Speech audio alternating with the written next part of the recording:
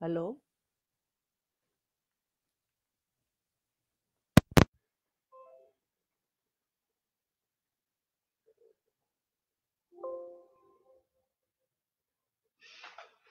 Fernando, buenos días.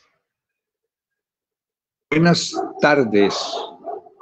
Ah, no, buenas tardes ya, Fernando. ¿Cómo estás? Qué rico tenerlos acá. Hoy vamos a contar con un programa muy especial, ¿no, Fernando? Muchas gracias. Esperamos Conocer el relato de tu, de tu destino, una biografía que han escrito Carlos Gustavo Álvarez e Iván Beltrán. Hola Iván, ¿cómo estás? Bienvenido. Y Carlos Gustavo, ¿cómo van? ¿Qué cuentan? Muy buenas noches. Qué rico que estemos juntos. Qué delicia. No, nosotros nos sentimos aquí muy honrados con todos. Muchas Es gracias. Muy satisfactorio para nosotros saber que ustedes, que contamos hoy con el protagonista de la novela, de la biografía, con los escritores y posiblemente se nos conecte Gustavo Mauricio García, el editor, quien en este momento está en las afueras de Villa de Leyva, con un internet bastante difícil. Eh, les quería proponer una cuestión antes de empezar en materia y que empezamos a hablar del libro. ¿Por qué no escuchamos el, la contracarátula, lo que Germán Santamaría escribió y cómo hace la descripción y la presentación del libro? Si les parece a ustedes que leamos eh, este lindo artículo que escribió Germán. Si están de acuerdo, empezamos a leer. ¿De acuerdo? ¿De acuerdo todos? De acuerdo.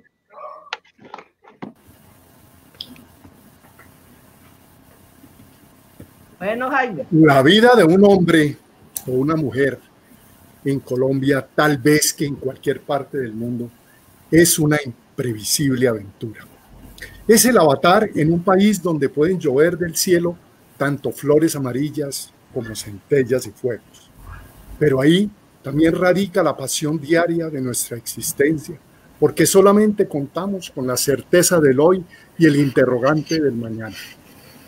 Y aún la existencia de una persona tan apacible, tan sosegada y ponderada, de alguien que solo ha reclutado amigos, como es el caso de Fernando Paneso Serna, entraña un periplo de vida de matices apasionantes, dinámicos, siempre inesperados. Y cada ciudadano nuestro... Así se podría incitar al que fuera gran gobernador, jefe al más alto nivel de empresas muy importantes, viceministro, embajador en lejanos y cercanos países, entre otras altas responsabilidades en el Estado y en la empresa privada. Y entonces Fernando Paneso nos lo contaría. Y nos la cuenta en este libro que tiene la virtud esencial de narrar una vida personal que se cruza con el mismo destino de una nación, la época más reciente de la violencia nacional, el tráfico y su infame pontífice, la modernización del país, la apertura internacional de nuestra economía, el tránsito de un país rural hacia una nación urbana. Todo esto y mucho más pasa en la vida de Fernando Paneso Serna, pero trasciende porque sucede en la existencia de un hombre sobre la procelosa piel de un país llamado Colombia. Si cada ciudadano de nuestro país contara su vida, tendríamos la historia total, colosal, épica, grandiosa y miserable de esta nación nuestra, la que el poeta Jorge Rojas señaló a Neruda cuando en memorable verso le dijo, esta es Colombia, Pablo. Pero tendría que ser como este libro sobre Fernando Paneso, como tiene que ser todo libro para ser bueno, es decir, estar bien escrito y de manera rigurosa, tener precisión en la anécdota, pero belleza en la metáfora, ser espartano, pero feraz en el lenguaje y apuntar siempre a atrapar la hazaña humana, que no es más que la infinita búsqueda de la utopía. La utopía que se cruza también con la profecía en la breve pero fructífera vida de un hombre sobre la siempre insondable existencia de una nación. Germán Santamaría, ex embajador, periodista. Bueno, ¿cómo, te ¿cómo les pareció la lectura de... Lo primero, una gran sorpresa de un gran amigo de hace tantos, tantos años. No puedo decir, no digo cuántos, Jaime Augusto, porque quedamos muy... te quiero mucho, Fernando, te quiero mucho. Yo también, Jaime Augusto, son muchos, muchos años de una amistad muy profunda. Qué gusto verte leyendo esto, me emociona. Muchas gracias por esta sorpresa. Bueno, la verdad, Jaime, muchas gracias por ayudarnos. Muchas gracias. Voy a leer Fernando Rincón. Fernando, lamentablemente, el padre está en este momento en, urgencias. Le descubrieron COVID-19 y, no puede alejarse un poco del papá porque todavía no saben qué, qué, rumbo va a tomar la enfermedad. Les mando un gran abrazo, Fernando, y a todos les mando muchas saludes y que lamentaba no ayudar. Le dije, no, más bien lamentamos nosotros lo de su papá y que ojalá se mejore. Bueno, ya estando acá, contamos con que dos escritores, un protagonista, están en capacidad de manejar el programa de un gran libro que escribieron. Una biografía de verdad, Fernando, muy linda, que me hizo, como te dijera, emocionar, de verdad. Y lo, como te lo dije, lamento no habernos encontrado en EPM o en, algo, en el TV, en las cosas que podíamos habernos encontrado. Muy interesante tu vida, muy interesante tu manera de ser, muy dulce, muy todo. Em, Carlos Gustavo, esperamos que, que ojalá Gustavo Mauricio entre. Carlos Gustavo, em, quiero decir que te vamos a hacer un regalito en este instante y es que seas el conductor del programa. Eh, me imagino que Fernando, Iván, todos ustedes tres ya están coordinados. Y María Isabel, muy querida, dijo, yo quiero acompañarlos a oírlos leer, a ver qué comentan, a qué todo. Entonces María Isabel va a estar ahí en compañía para lo que quieran y si la quieren utilizar para que lea, para cualquier cosa, María Isabel dijo, yo estoy dispuesta a lo que me digan. Entonces los dejo muy buena compañía. Bueno, muchas gracias. Eh, muy buenas noches, muy buenas tardes, muy buenos amaneceres donde nos encontremos. Y quiero pedirles que iniciemos con una música. No controlo el sonido, espero que, que quede bien. Y es una canción dedicada a mi amigo Fernando Paneso, que tal vez la escuche y la recuerde ahora.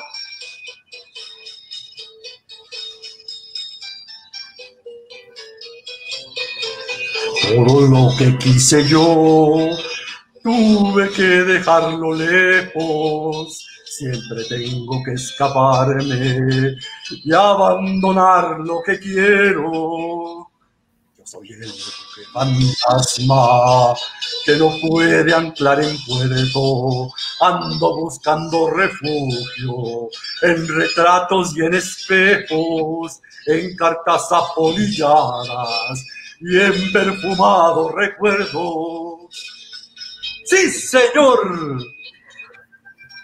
Y que sea una forma de iniciar esta charla con este, con este trocito de esta canción Romance de mi destino, Fernando, un ícono, un símbolo de la linda tierra ecuatoriana, que cantaron en su momento Olimpo Cárdenas, o Julio Jaramillo, a quienes muchos de ustedes conocen y, fueron amigos de ellos. Eh, otros tal vez no, pero bueno. Eh, muy grato estar aquí esta noche para hablar de este libro que tiene muchas historias y una propia historia que yo voy a empezar a contarles, eh, esperando que nos acompañen, agradeciéndoles a todos por estar aquí, a Eleonora por darnos este espacio y a María, Isabel, José y las personas que han colaborado. Un saludo para, Iván y un saludo para Fernando con la pregunta si, si te gustó la canción, Fernando, si la recuerdas.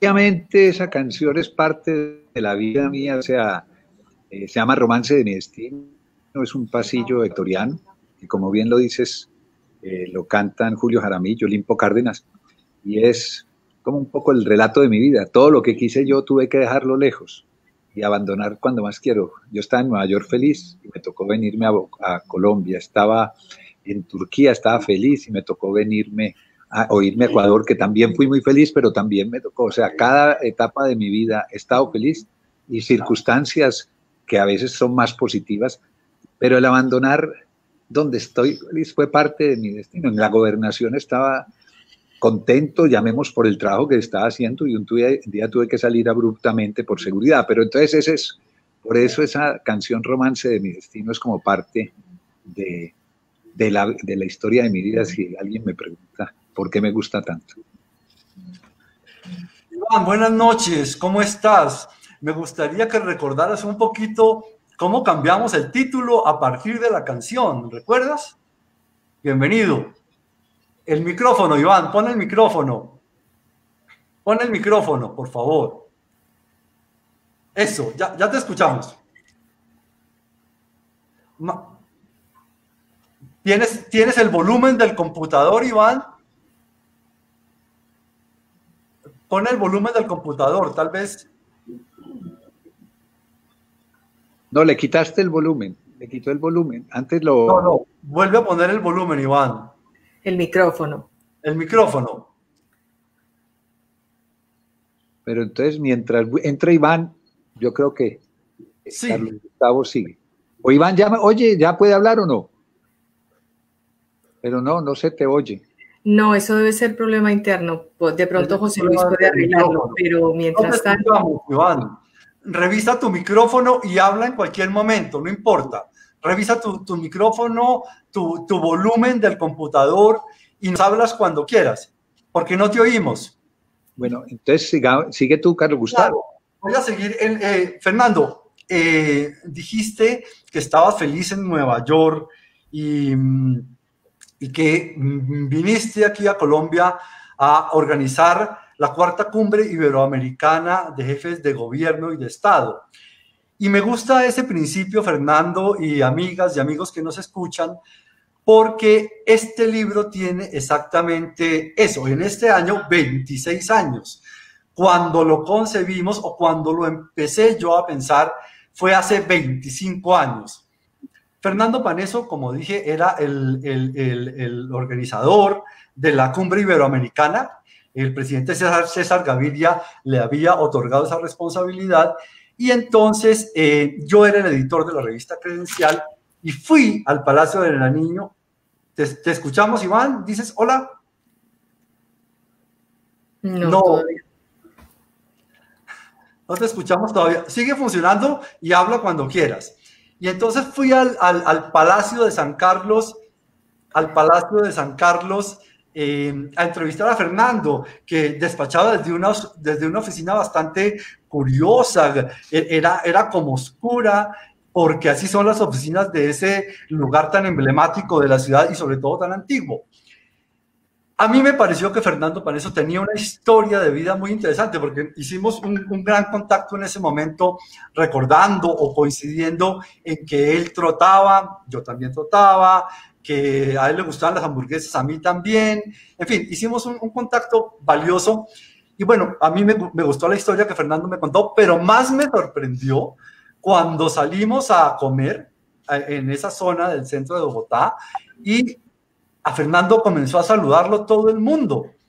Y todo el mundo fue que me hizo pensar que él era el protagonista y de lejos de esa canción que hizo Roberto Carlos de Yo quiero tener un millón de amigos pues Fernando Paneso los tenía, o por lo menos allí iban contando, porque yo, yo me sorprendí por esa calidez que, que, de la gente que lo saludaba y la forma como él la saludaba, con una cualidad que tiene Fernando, y es que saludaba a todo el mundo por su nombre, pero además le preguntaba eh, a, las personas por toda su familia, como hasta la tercera generación.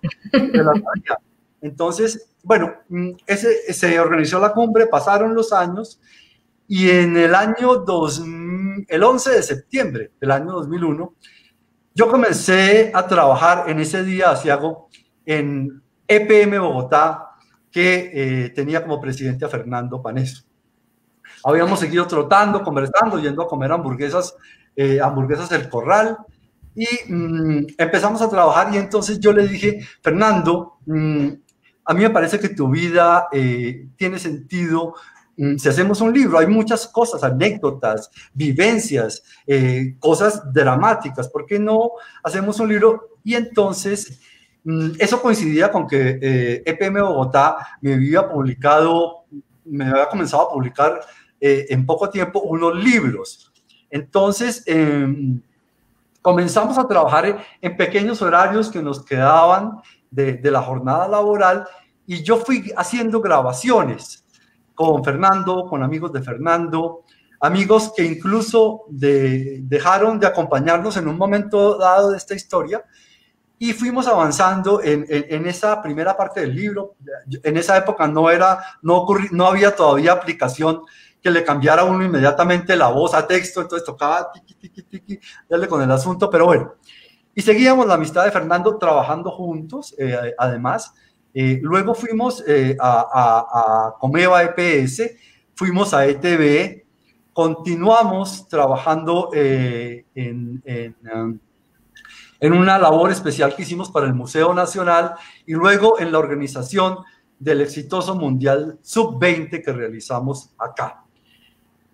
Y la cosa iba así, pero el libro no había avanzado. No había avanzado porque la vida nos enredó, el remolino de las cosas que van pasando, em, hasta que hace más o menos dos años, dos años y medio, yo me encontré a Fernando y lo sorprendí en una actitud, digamos, triste.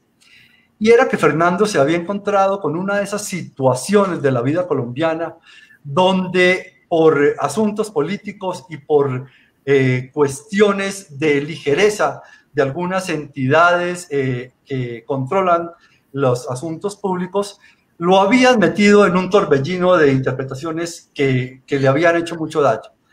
Fue en ese momento cuando por primera vez, al ver a Fernando Paneso triste, decidí continuar el libro y ya ponernos a la, a la tarea de realizarlo. ¿Qué pasó en ese momento? Que pues yo también seguía con otras ocupaciones, yo seguía trabajando con Comeva y decidí llamar a la, persona en quien más confiaba y con quien tengo también una historia particular que les voy a, contar. Se trata de Iván Beltrán, a quien quiero y admiro. A ver si puede aparecer y si nos oye y, que y si puede poner el manos libres. Pero mientras aparece, continúa, Carlos. Gracias. Entonces, eh, muchos años antes, cuando yo comencé a, buscar la vida periodística, nos encontramos en el tiempo tres personas. Iván, eh, yo, y una tercera persona que tal vez ustedes recuerden, un amigo maravilloso que ya no está con nosotros en persona, pero sus obras están aquí. Se trata de Fernando Gaitán, el autor de Yo soy Betty la Fea, de Café, de tal vez las mejores telenovelas en la historia colombiana. Y nos comenzamos a trabajar los tres en el tiempo, buscando hacer cosas, etcétera, etcétera. Y pasábamos tanto tiempo juntos que parecíamos Hugo, Paco y Luis, ¿no? Nos decía, éramos como los tres hijos de, de, Donald, esos son hijos de Donald, sí. Y entonces, eh, bueno, eh, yo llamé a Iván y comenzamos a trabajar con él el libro de Fernando. Eh, en unas reuniones que fueron sobre todo gastronómicas y cafeteras. Entonces, ahí Fernando hizo una gran inversión de restaurante en restaurante, eh, grabando y además comiendo, cosa que hacíamos pues, rico, la pasábamos muy sabroso. Y mm, bueno, con el paso del tiempo quedó el libro. Eh, hicimos un trabajo que a mí me parece bonito, me parece valioso. Iván es, no solamente es un gran escritor, sino que es un gran poeta. Tiene la, la, la cualidad de hacer de su prosa una extensión de la poesía. Justamente dentro de poco tiempo va a publicar un libro con sus bellos, hermosos poemas de Iván, que se los recomiendo. Y bueno, continuamos en eso y cuando ya tuvimos el libro apareció Gustavo Mauricio, hicimos la edición y de eso hace ya un año, porque curiosamente, pasado mañana se cumple un año del primer lanzamiento que hicimos del libro en la fiesta cultural y del libro de Medellín, que por cierto cerramos, y como dicen ahora los jóvenes, literalmente, porque solo nos dieron la, la, sala que estaba a la entrada, y cerramos la feria con una linda charla, la primera de una que sostuvimos y que hemos sostenido en varias ciudades. Esa historia del libro me permite ya darle paso a Fernando. Fernando, para que si quieren nos leas el capítulo que tú desees y nos cuentes con ese capítulo cómo fue la cosa. Gracias, Carlos Gustavo, por toda esta introducción. Voy a leer unos minutos no muy largos. Pues yo he tenido varios cargos en la vida, pero llamemos el más complejo fue la gobernación de Antioquia en el año 87-88 esa gobernación, y ahora al terminar de leer, me amplió un poco, eh, pasaron dos hechos que trascienden la, que hacen fundamental cambiar la vida nacional. Pero empecemos y después explicamos. Convertirse en la primera autoridad del departamento de Antioquia a los 35 años fue todo un desafío para Fernando Paneso, máxime cuando le tocó en suerte un mundo, una sociedad y una cultura amenazados por el naciente y artero narcotráfico. Anunciación. El joven Fernando, director de planeación de Antioquia, bajó de la avioneta en la que había viajado con su esposa Patricia Gómez y con un promotor turístico. Se hallaba en una tarea de exploración, mirando cómo organizar el desarrollo de la autopista Medellín-Bogotá.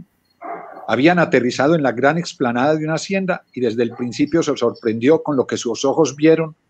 Se trataba de una extensión de tamaño irreal que parecía perderse en el horizonte, con una gran casa pletórica de lujos y detalles llamativos auténtica mansión absurdamente anhelada, perdón, absurdamente anclada en medio del valle del río Magdalena. Fernando y Patricia, atónitos, divisaron los animales. No se trataba, como suele suceder, de vacas, caballos, gallinas o patos. Eran hipopótamos, elefantes, felinos, grullas, jirafas, venados, dantas, avestruces, lamengos y otras especies características de la jungla africana y americana. ¿Cómo habían llegado hasta allí y quién los había traído? Se preguntaron Fernando y Patricia. El promotor turístico que hacía de Lazarillo solamente pudo decirles que era propiedad del dueño de casa, un próspero comerciante. Luego entraron a la casa para desayunar. Mientras comían, Fernando registraba, además de los lujos y cosas suntuarias,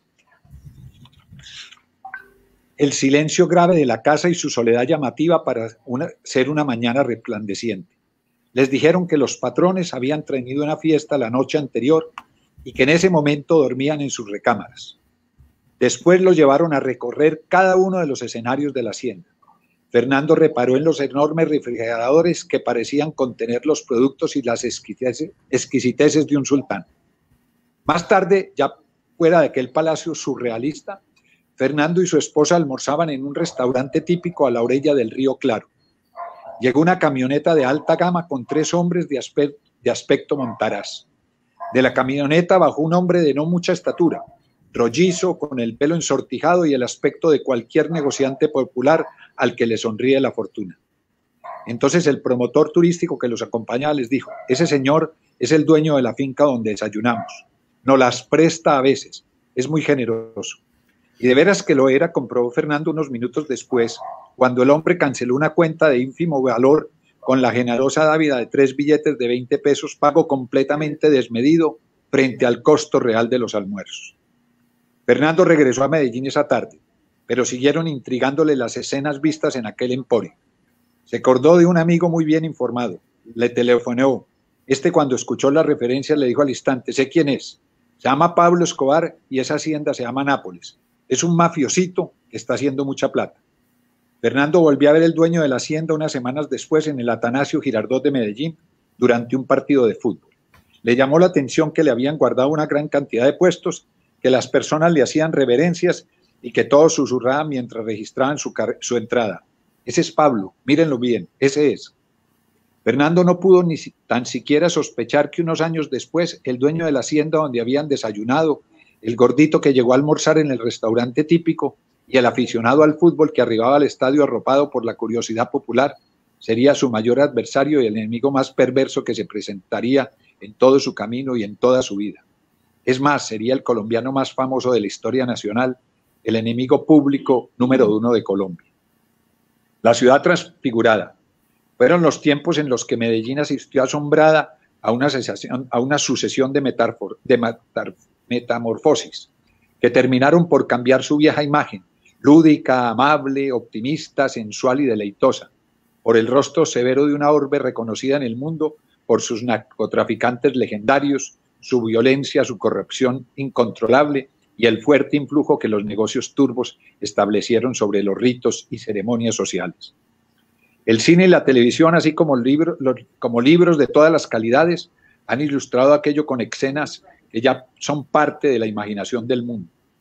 En las ficciones fílmicas, novelescas y televisivas, los oscuros protagonistas de esta debacle surgida en América Latina se equiparan con los nombres de Al Capone, John Dillinger o Frank Costello, figuras que preludiaron desde Chicago y Nueva York como las mafias y los círculos de Lampa terminarían por adueñarse y cooptar la legitimidad del Estado.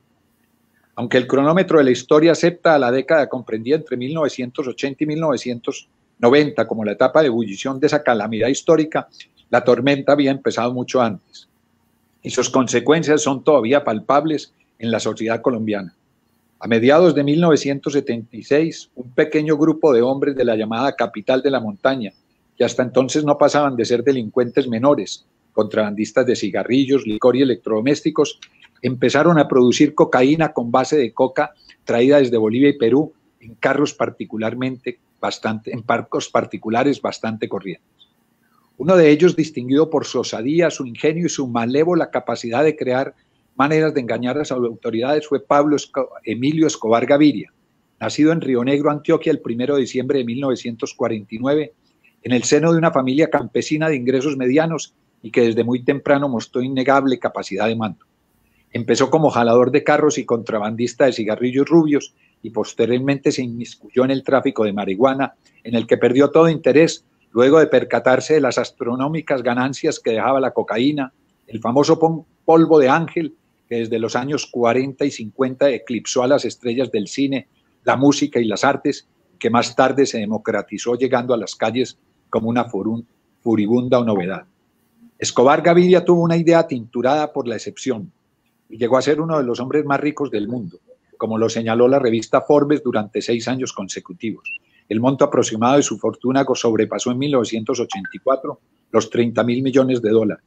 Los ingresos semanales que percibía durante la bonanza eran de 420 millones de dólares. Fernando Paneso, que para entonces tenía 35 años y era el gobernador más joven de la historia de Antioquia, tuvo que aprender mucho de aquel turbión dramático. Nombrado en 1900, mayo de 1980 por César Gaviria, que era el ministro estrella del gobierno de Vigilio Barco Vargas, apenas se dudó un poco antes de aceptar el cargo. Hoy bromea diciendo que no sabe quién era más irresponsable, si quien le otorgaba la investidura o quien la recibía. Pero eso no pasa de ser un chiste, porque en su conciencia está claro que esa experiencia límite crucial, crucial, tan parecida al paso por, un intricado, laberinto, es tal vez el símbolo de su crecimiento como hombre público y como ser humano.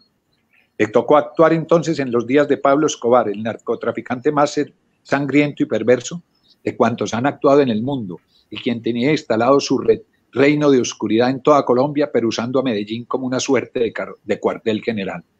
Y ya en la clandestinidad, luego de haber cobrado la vida de importantes figuras políticas, académicas e intelectuales, entre ellas la de Rodrigo Lara Bonilla, el ministro de Justicia de Belisario Betancur, el 30 de abril de 1984, el capo de capos se propuso lograr sus fines a como lugar, desatando un periodo en el que el homicidio y la extorsión gobernaban de manera soterrada y con increíble fluidez.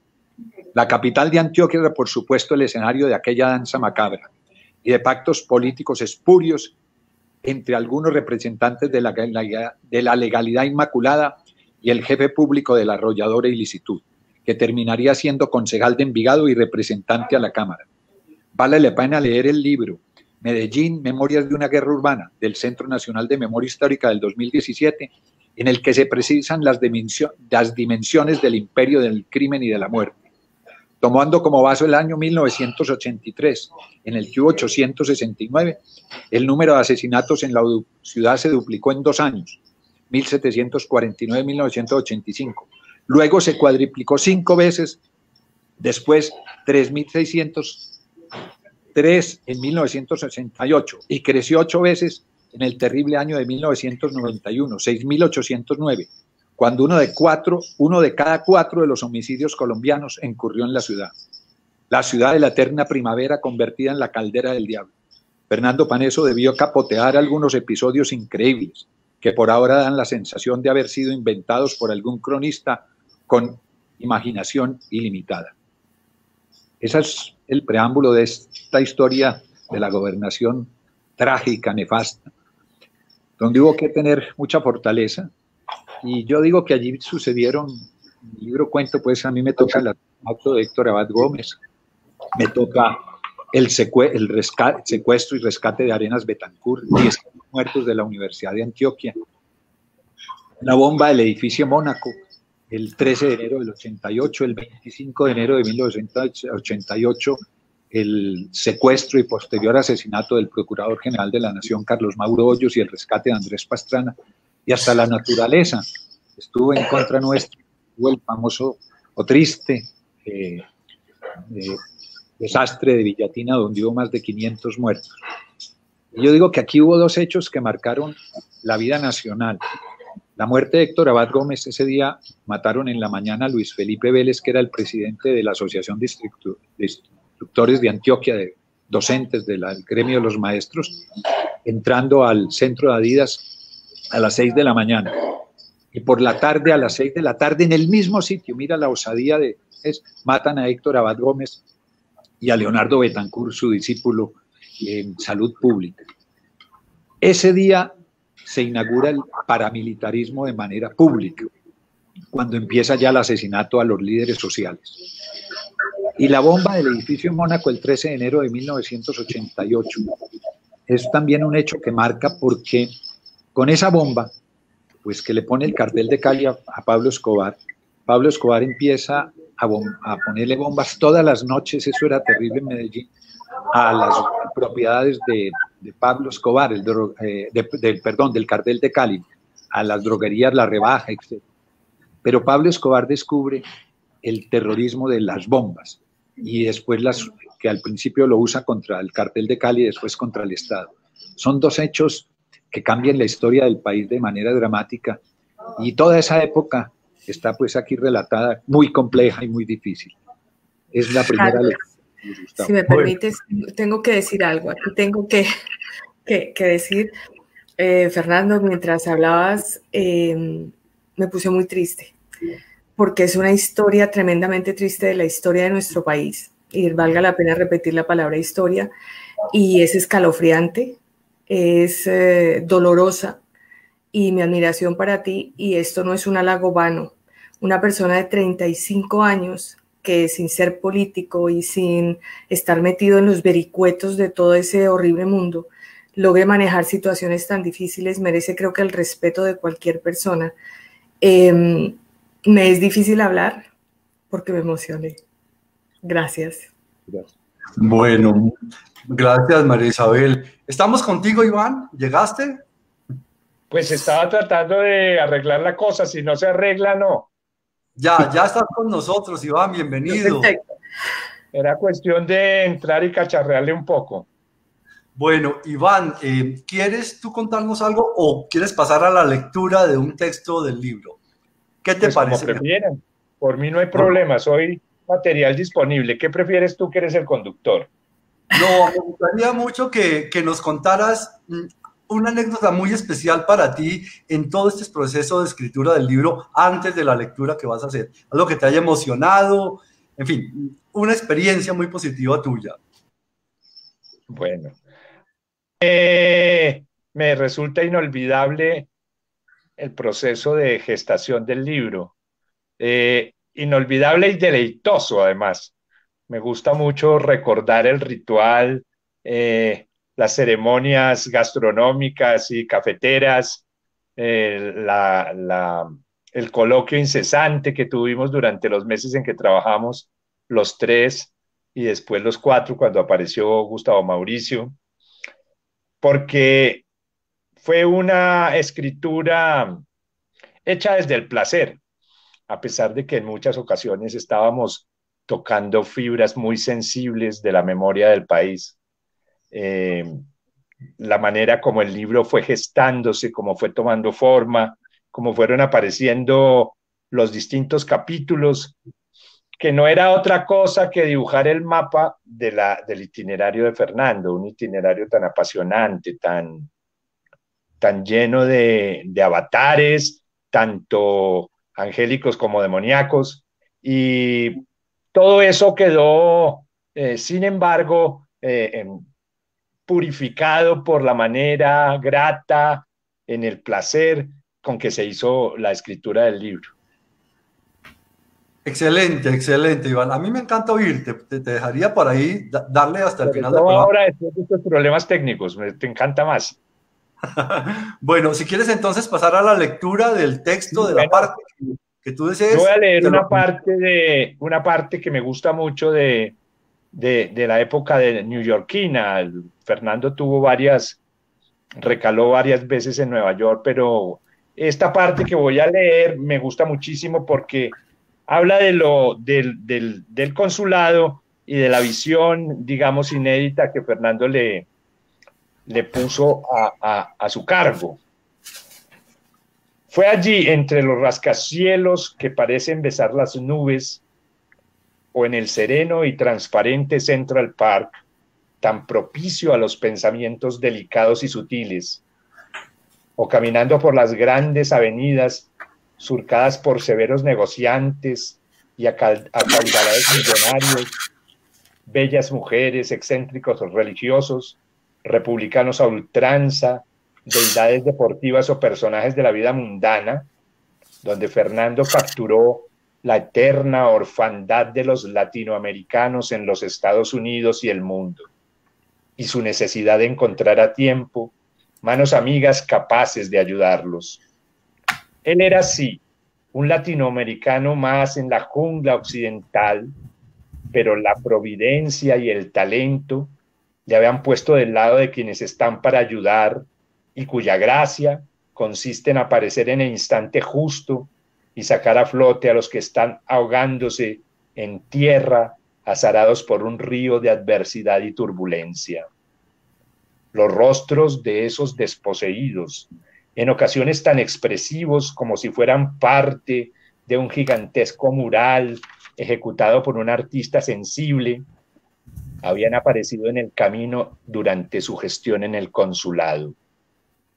Nunca olvidaría, por ejemplo, las expresiones de las mujeres que se plantaban a la entrada para otear, casi siempre de manera fugaz y descorazonada, a sus novios, hermanos, padres o maridos que llegaban del presidio de Albany, capital del estado de Nueva York, que, estaba, que estaban a horas de ser enviados a su casa por la deshonrosa puerta trasera. Ellos y todos los otros los que por algún motivo pasaron por aquel escenario ahora curiosamente les resultaban familiares, como si le hubiesen dado el poder de la ubicuidad, pero en realidad merced a, experiencias fácticas muy concretas, pequeños trámites, microdramas. Paneso creía haber visitado los lugares de expiación cada uno de ellos. Sentía que había compartido sus trabajos a en los mercados, los pequeños comercios, los astilleros y las manufacturas, los restaurantes y las cafeterías, donde deben llegar puntuales al alba y desgastarse en recias jornadas. Creía que había acompañado a las mujeres caídas en las garras de los delincuentes y gigolos profesionales de la urbe y haber pisado las madrigueras donde se las encierra y mancilla. Soñaba haber deambulado los grises arrabales y los suburbios donde se tuerce la esperanza de los migrantes, sumándolos a las actividades ilegales que, hacen que los hacen terminar entre rejas o regresar a casa en una caja de madera. Y le eran extrañas las ventanillas, y no le eran extrañas las ventanillas donde la tropa sonámbula hace fila para gestionar un empleo, una prebenda un principio de legalidad. La sensibilidad del cónsul se había gozado de una manera impresionante. Desde que entró con su investidura a cuestas y se sentó por vez primera en el sillón de cónsul general, Fernando Paneso Serna, empezó a tinturar el cargo con un estilo muy singular, diríese que vanguardista y heterodoxo, que pronto lo hizo perceptible a la pupila de la comunidad. Sucedía hasta, sucedía hasta entonces que la sede consular mantenía frente a los colombianos de Nueva York un distanciamiento absurdo, una brecha insalvable entre los funcionarios y los residentes de todos los estratos y condiciones. Con su memoria prodigiosa que ya había desplegado en sus actividades anteriores, Paneso asombró al personal del consulado primero y después a cada colombiano que se encontraba en un acto público, en la entrada del edificio, en un restaurante o una avenida porque sabía sus nombres y apellidos, lo que ya tenía su gracia, pero más allá también recordaba los de sus cónyuges, padres, hijos y parientes. Entonces, ver un encuentro suyo en cualquier esquina de la gran manzana podía parecer a ver a un el cotidiano encuentro de dos compadres queridos en Medellín, Pereira o Manizales, el mismo fraterno coloquio. La puerta de entrada a la sede consular era algo así como la metáfora de la incomunicación, un mecanismo desapacible y complicado de alarmas, sensores y metal que a un visitante silvestre le despertaba de inmediato temor. Allí estaba como cancerbero Lu, gigantesco jamaiquino de dos metros, que no sabía una sola palabra de español y hablaba el inglés fuerte, tórrido y de apariencia pendenciera que se utiliza en las calles. Era cómico, recuerda Paneso, porque en el fondo se trataba de un ser humano extraordinario, delicado y sensible. Pero lo que proyectaba no era eso, y muchos al verlo se daban media vuelta y no realizaban su gestión por más premura que tuviesen. Con Paneso llegó una humanización consular, cuyos resultados empezaron a verse muy pronto mandó retirar la puerta eléctrica, aunque hubiese costado un potosí. Sin este marco, la figura de luz hacía más tratable y llevadera, porque el gigante fue asignado a cumplir funciones más, que más de anfitrión que de vigilante refractario. Y siempre que se le pidió una explicación sobre aquella medida, Fernando repitió una frase tan sencilla como demoledora. Esta es la casa de los colombianos y a uno en su casa no le hacen requisas ni lo obligan a pasar por penosos mecanismos de seguridad. Si no tiene liviandad y confianza, pues sencillamente no es una puerta y no es un hogar. Hasta ahí. Muchas gracias, Iván. Este es una, un extracto del capítulo sobre Nueva York, Nueva York. que eh, Sí, que tiene, que tiene muchas más cosas y sería muy interesante poder leerlo, pero vamos, vamos a tratar otras cosas. Em, yo quisiera, antes de darle la palabra a María Isabel, que estoy notando unas burbujitas en su boca con ganas de decirnos cosas. Entonces, em, voy, a, voy a leer un poco de lo que es el primer texto del libro. Y quiero que entendamos que estamos haciendo aquí un periplo bastante particular porque eh, comenzamos en el capítulo de, la gobernación de Antioquia, luego a Nueva York y yo vamos a ir a otro principio, que es el siguiente, muy rápido para, dar, para darle la palabra a María Isabel. Se llama presagio y dice así, se tendió en la cama a corrientazos de muerte que le subían de las manos al corazón como anguilas encolerizadas.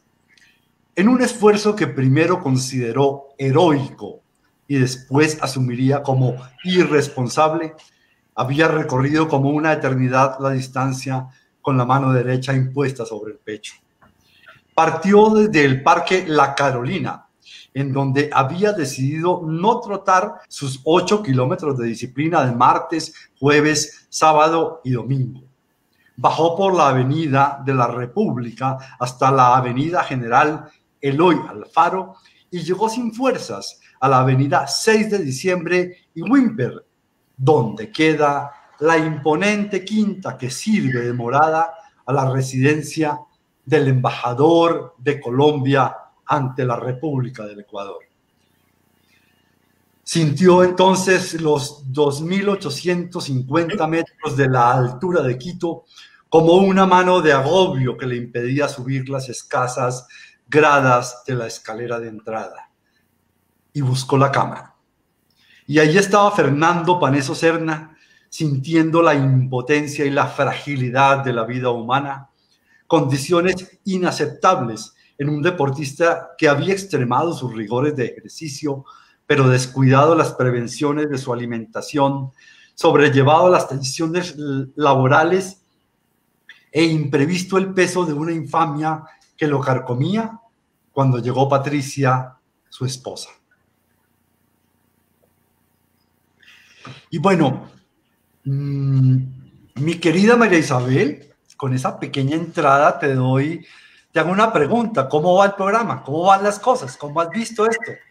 Pues a ver, una vez eh, recuperada la emoción que me produjo la, lectura de Fernando y obviamente la escritura de Carlos Gustavo y de Iván, Fernando, eh, cada capítulo es mejor que el anterior y mucha gente nos lo está diciendo. No sé si, si, si lo sepas, pero tenemos muchísimos visitantes de todas partes y gracias al programa. Y hoy es un programa muy especial, es la primera vez que leemos una biografía.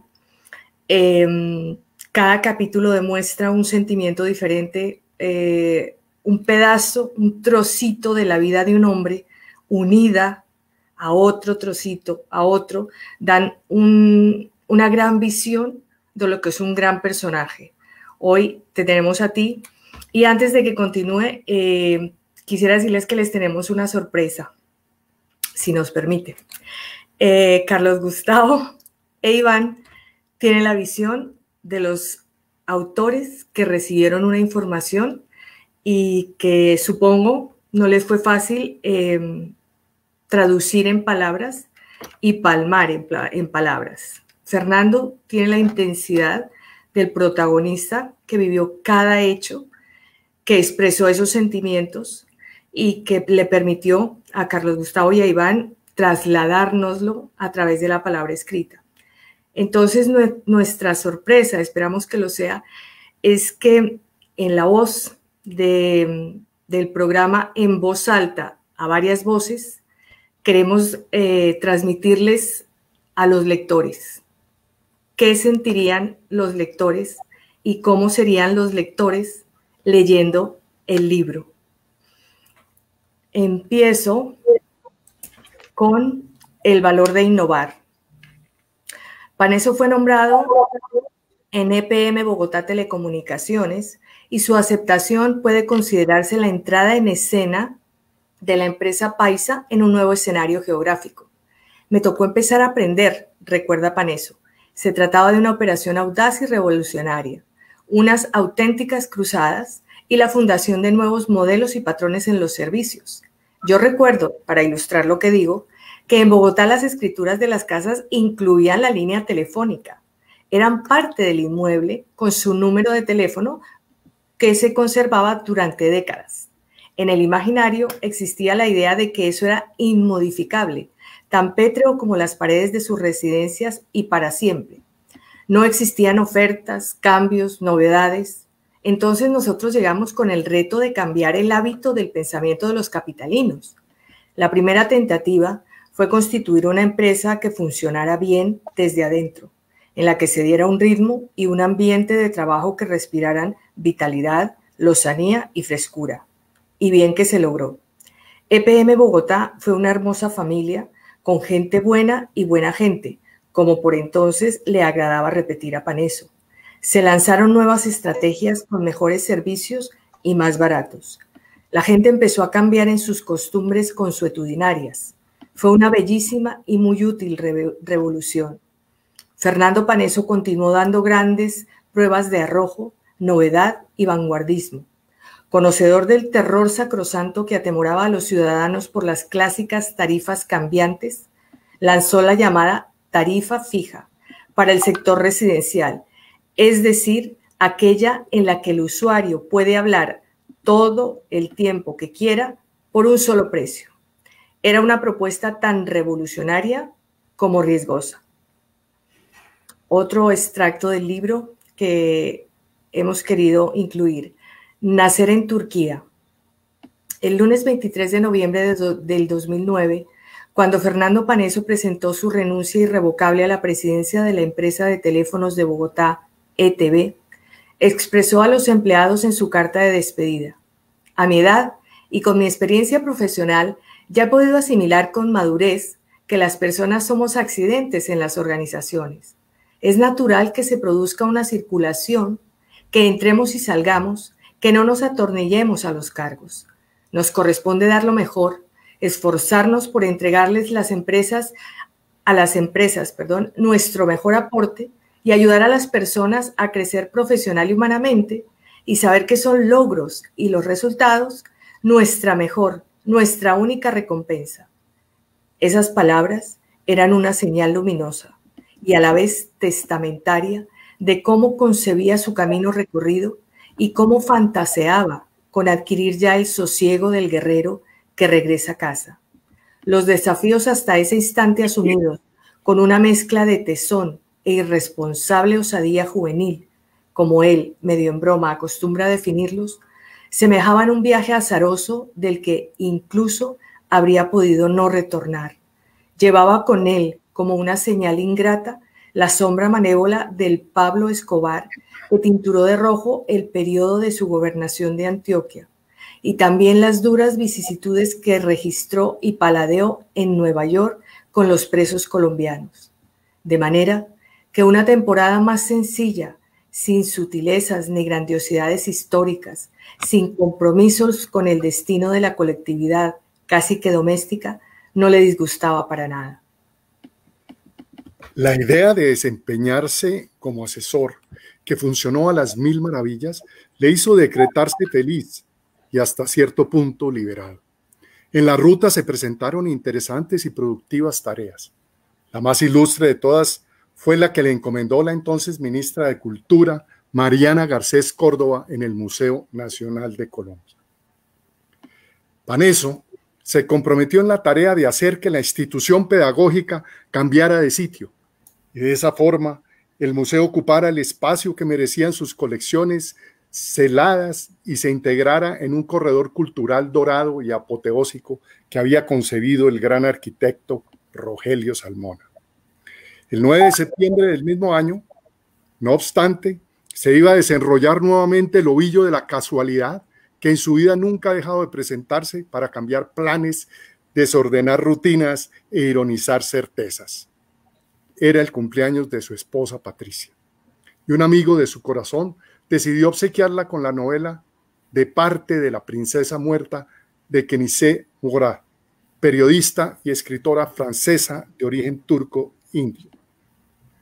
Se trata de una apasionante biografía novelada escenificada en Turquía, el Líbano, la India, Pakistán y Francia, y en la que, como un reloj pendular, la vida de los personajes va de lo histórico a lo erótico, de lo público a lo intimista, de lo prosaico a lo lírico.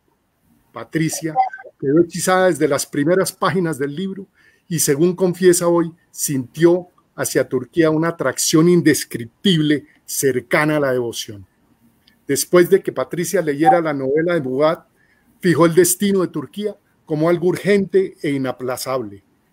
Era, recuerda Paneso, como la criatura sonámbula que en la vigilia persigue las imágenes de un sueño.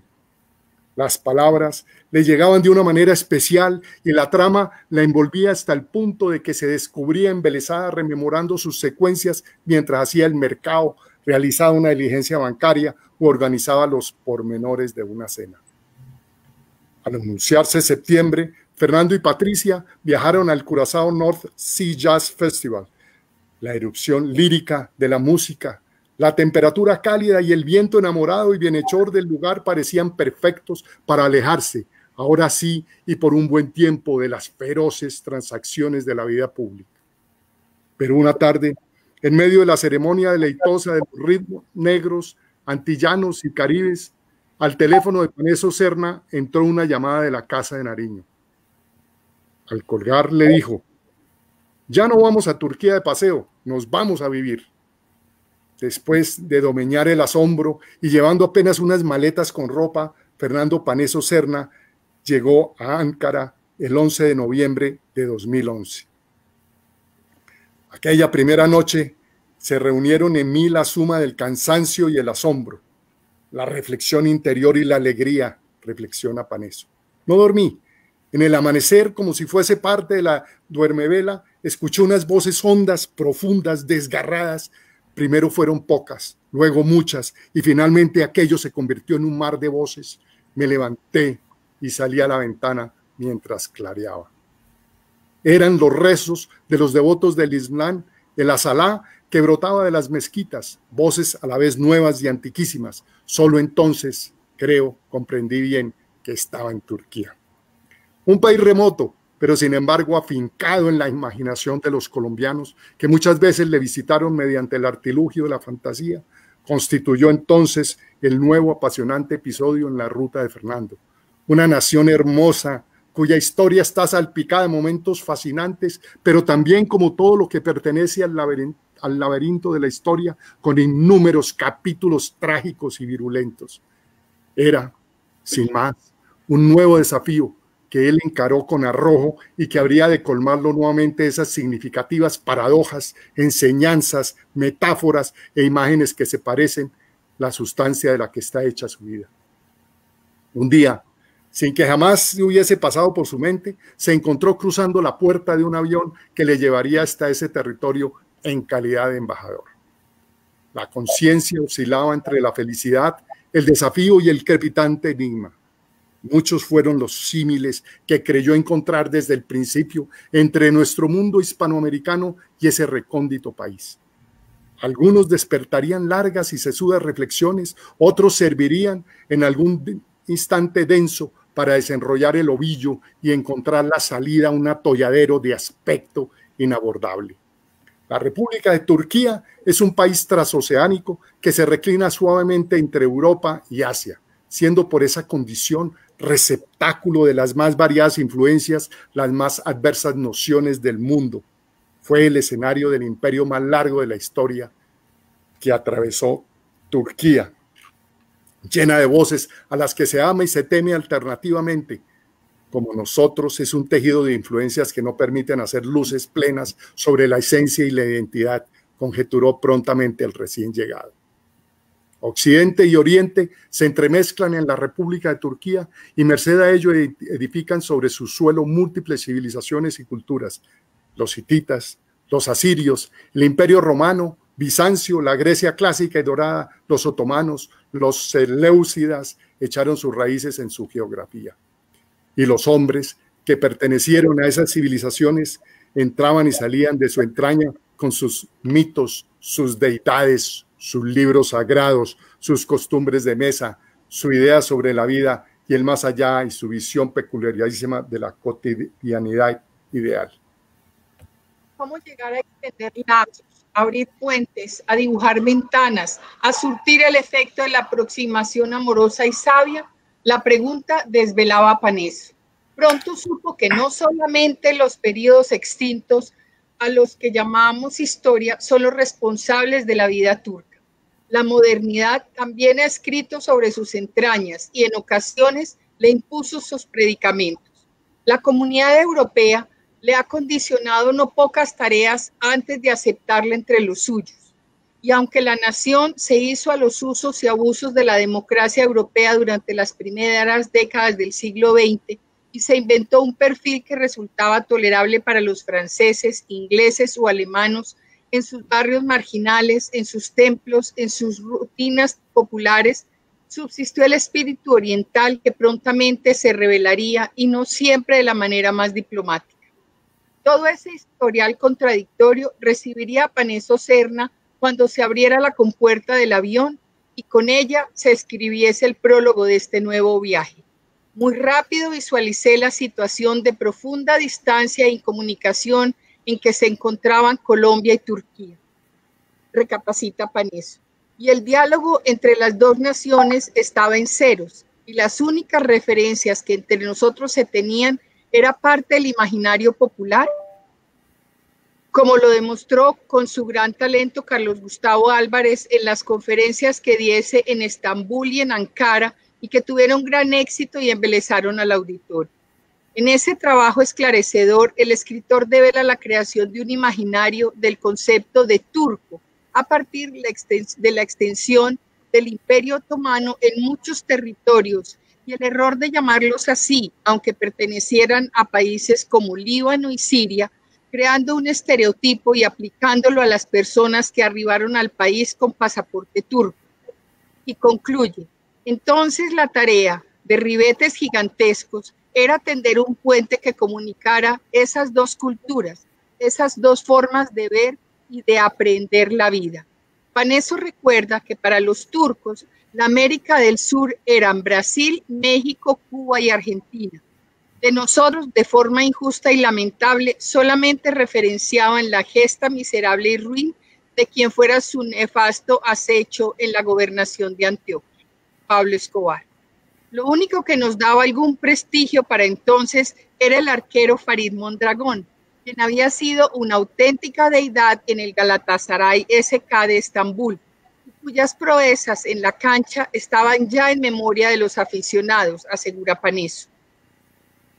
Los turcos aman el fútbol, aunque son casi siempre perdedores y encontraron en el guardameta colombiano la vibración del triunfo.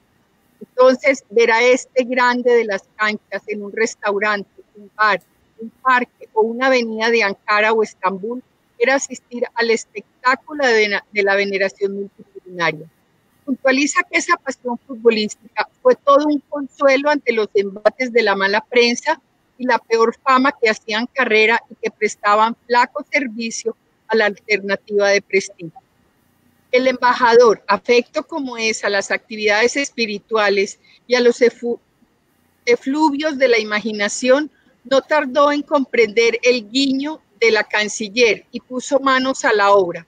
Vendería a Colombia como un destino mágico, henchido de obras de arte, música, poesía, novelas, teatros y de, de las más variopintas emanaciones de la alta sensibilidad nacional.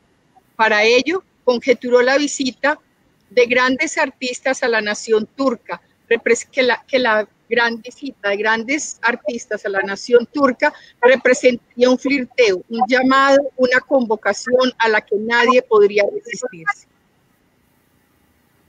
Tras la muerte del Nobel Gabriel García Márquez, su incesante y fabuloso Macondo, esa Biblia del trópico, enciclopedia total de emociones humanas, se tomó por asalto las ferias del libro de Ankara y Estambul, que le recibieron con la misma asombrada reverencia y a la misma obediente maravilla con que lo había hecho el mundo al final de la década de los 60. Dedicadas al mago del realismo mágico, sobre ella se lanzó una horda de sedientos y afiebrados lectores, algunos muy jóvenes, que se identificaban con sus criaturas dulces, edénicas pero fatalmente escritas en el laberinto de la historia. Aunque en principio no era tan visible como el de los vuelos de Torchis o la oficina TICA, era una piedra en el zapato en las relaciones entre los dos países. Las visas, esos documentos severos con que la regula de los foráneos dominios y que en muchas ocasiones se convierten en una talanquera para la libre amistad de los pueblos. Para eso, imbuido de gran conocimiento y fortalecido por las horas que juicioso trabajo con Alicia Quijano expuso entonces los puntos claves. La aprobación de los vuelos de Turkish Airlines, Airlines a Colombia. ¿Cómo olvidar la compañía grata y las tareas fructíferas desarrolladas con Mehmet Nekati Kutlu, director del Centro de Estudios Latinoamericanos de la Universidad de Ankara, creado en 2009 para promover la hermandad académica con esta parte de conocimiento. Cuando la canciller ofreció a Paneso la embajada en Ecuador, no fueron pocas las dudas que le surgieron. Dice que ese país, Turquía, ha sido una de sus estaciones solares, uno de aquellos ámbitos donde el espíritu se desembaraza de penas y de esperas y se echa a andar, diríase, casi que a volar. El genio había brotado de la lámpara cumpliendo el deseo de unas relaciones prósperas. Partiendo de cero, se consolidaron derroteros bilaterales en múltiples campos, mediante un trabajo que fue divertido y maratónico a la vez. Cultura, educación, diplomacia, política, migración, representación consular, cooperación académica, atención a los connacionales la imprescindible y obligatoria robustez comercial. Patricia fue quizás la más afectada cuando llegó la hora del hasta pronto. Pero el itinerario y la aventura existencial debían seguir su curso y otra estación se alzaba en el horizonte. El matrimonio paneso recuerda como un hecho curioso la increíble meticulosidad de las empresas turcas de trasteos. Fernando y Patricia juran que en ninguna parte de mudanza resulta tan armónica, tan sin líos, al punto de que acostumbraban bromear. En Turquía las cosas del trasteo no solamente salen ilesas y perfectas, sino que cuando uno las desempaca, tiene la sensación de que están más nuevas que antes. La otra damnificada de aquella mudanza Ankara-Quito fue la gata sultana, la bellísima menina de raza angora que desde entonces es parte sustancial de la familia Paneso. Su estirpe designa nada menos que a la ciudad de Ankara, la capital, que alguna vez se llamó así y cuyo símbolo es uno de esos felinos domingos. En Ankara, los géneros funcionarios intentaron impedir el periplo de Sultana cuando Fernando llamó a Patricia, que había viajado antes, ésta le dijo de manera solemne y drástica, Tú tienes que hacer lo que sea, pero Sultana no se puede quedar. Ella es parte de nuestra familia y la memoria de nuestra temporada turca. Durante semejantes aventuras, Paneso no tuvo tiempo para pensar en él, ocupado en el bienestar y el arribo feliz de la gatica real. Sultana se reuniría en Bogotá con Kenji Tamura, perrito Shih Tzu, bautizado así en honor de un amigo japonés guía inigualable, en el primer viaje del matrimonio a Japón, que nunca supo que le pusieron su nombre al can, solo para acordarse de él todos los días. Pues bien, Gata y Perro vivieron una verdadera odisea. Para sacarlos de Colombia, Paneso encontró uno y mil escollos, diques, impedimentos que convirtieron a los animalitos en un fardo de papeles y certificaciones. Por eso, cuando ya en Quito un funcionario sereno y adormilado miró a Sultana y a Kenji Tamura sin demasiado interés durante una fracción de segundo, no pidió ningún documento de todos los que habían exigido y dijo sencillamente, sigan. Paneso sonrió mientras una voz le decía, acabas de regresar al trono. Ecuador, el paraíso antes de la condena si el trajinar aduanero de la gata sultana por tres continentes había cesado en el... Leonor está un poquito bajito de volumen. Listo, ya lo subo.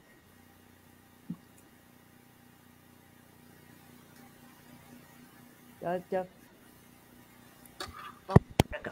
Si el trajinar aduanero de la gata sultana por tres continentes había cesado en el centro de la Tierra con la intervención de la reparadora indiferencia tropical, el periplo diplomático de Fernando Paneso no sería un asomo de tregua. Y sin embargo, después de la mítica República de Turquía, en la cual todo resultaba nuevo, legendario, remoto y en cierta medida inaccesible a esta nación andina con grandes riquezas y posibilidades, pero también con dolencias enormes, y donde hay sectores vigorosos y futuristas en las ciudades, pero asimismo vastas extensiones campesinas ancladas al pasado. Yo pasé de invertir las relaciones con la República de Turquía a fortalecerlas y blindarlas con Ecuador. Aquellas fueron gestiones muy diferentes, Nunca se sabe si es más arduo y exigente inaugurar un amor o nutrir uno ya consolidado para que, para que no se debilite ni se fracture. El goce, en ambos casos, está en el cabal entendimiento del otro, en el reconocimiento de lo que se quiere, se le respeta y se entiende, aquello que le hace único e insustituible para el mundo, afirma Paneso. Recordando el mare magnum de emociones que tuvo en aquellas dos experiencias capitales y la fragosa llegada a Quito. Anécdotas. La carrera terminada. Ya en casa, todavía saliendo del sonambulismo producido por la drástica intervención médica, y luego de su segundo infarto, Fernando Barneso volvió a acudir a su humor característico, frío, un santo y en ocasiones sarcástico. Cuando le preguntaron el motivo por el que, afectado, había continuado en la competencia pequeña hasta llegar a la nota, contestó con un esbozo de sonrisa en los labios. Es que yo le prometí a mi mamá que cuando fuera grande iba a terminar una carrera. Anécdota, el gobernador en la banca. En 1987, siendo viceministro de Desarrollo Fernando Paneso Serna, viajó a Corea del Sur. Se trataba de que el equipo económico del presidente Barco fortaleciera los lazos con aquel portento asiático que ya para entonces dejaba estupefacta a la comunidad internacional con su crecimiento. Enterado de los movimientos ministeriales, Paneso debió hacer el viaje más largo de cuantos ha emprendido en su existencia.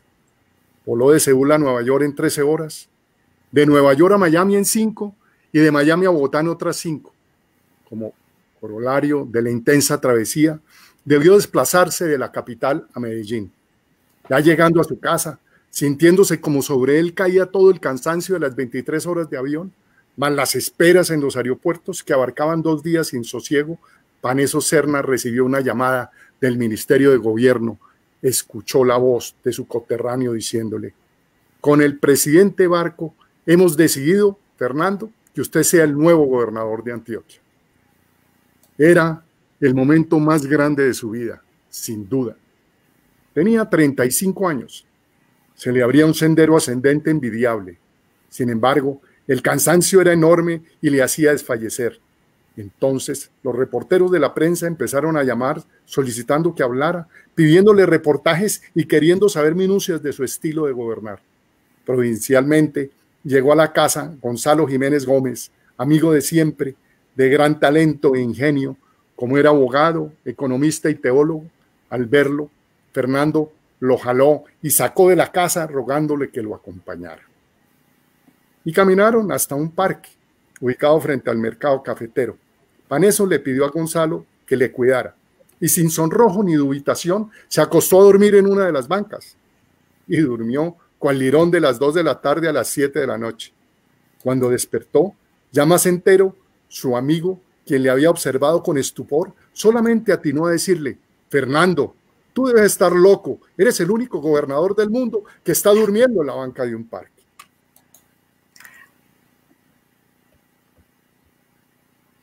El micrófono, Analú. Tu micrófono. Piano, piano. Jorge Áñez es uno de los compositores que nutren la historia folclórica nacional. Una de sus piezas, El cucarachero, ha sido entonada por varias generaciones. Se trata de un tema travieso que expresa con exactitud el alma de los nacidos del altiplano cundiboyacense y de los cachacos ya extintos en la capital. Nació en Bogotá en 1892 y en esa misma ciudad murió en 1952.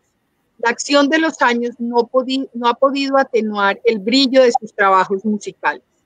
Un buen día, en 1992, en el centenario de su nacimiento, un nieto del artista se apareció en el despacho de Paneso en el consulado de Colombia en Nueva York.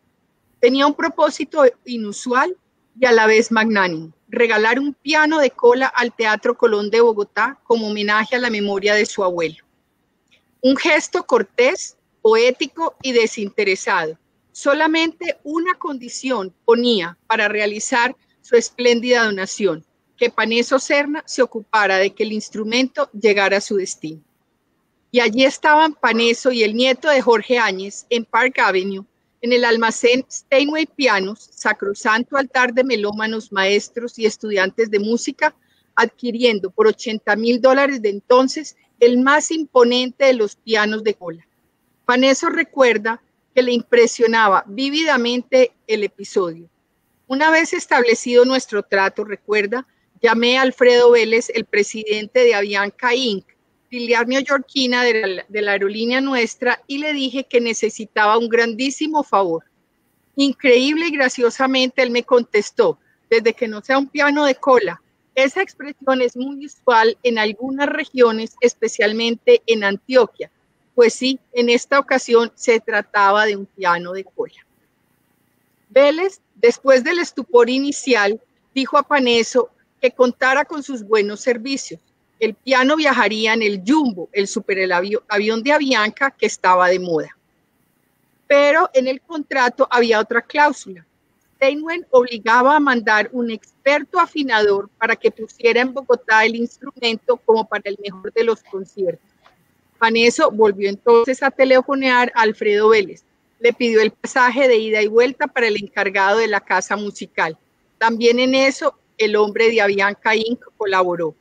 El viaje del piano fue normal, aunque con los inconvenientes lógicos que semejante epopeya puede presentar. El piano llegó a su destino y fue llevado al Teatro Colón. Hoy todavía se le escucha en los grandes conciertos. Dejar metido al Nobel.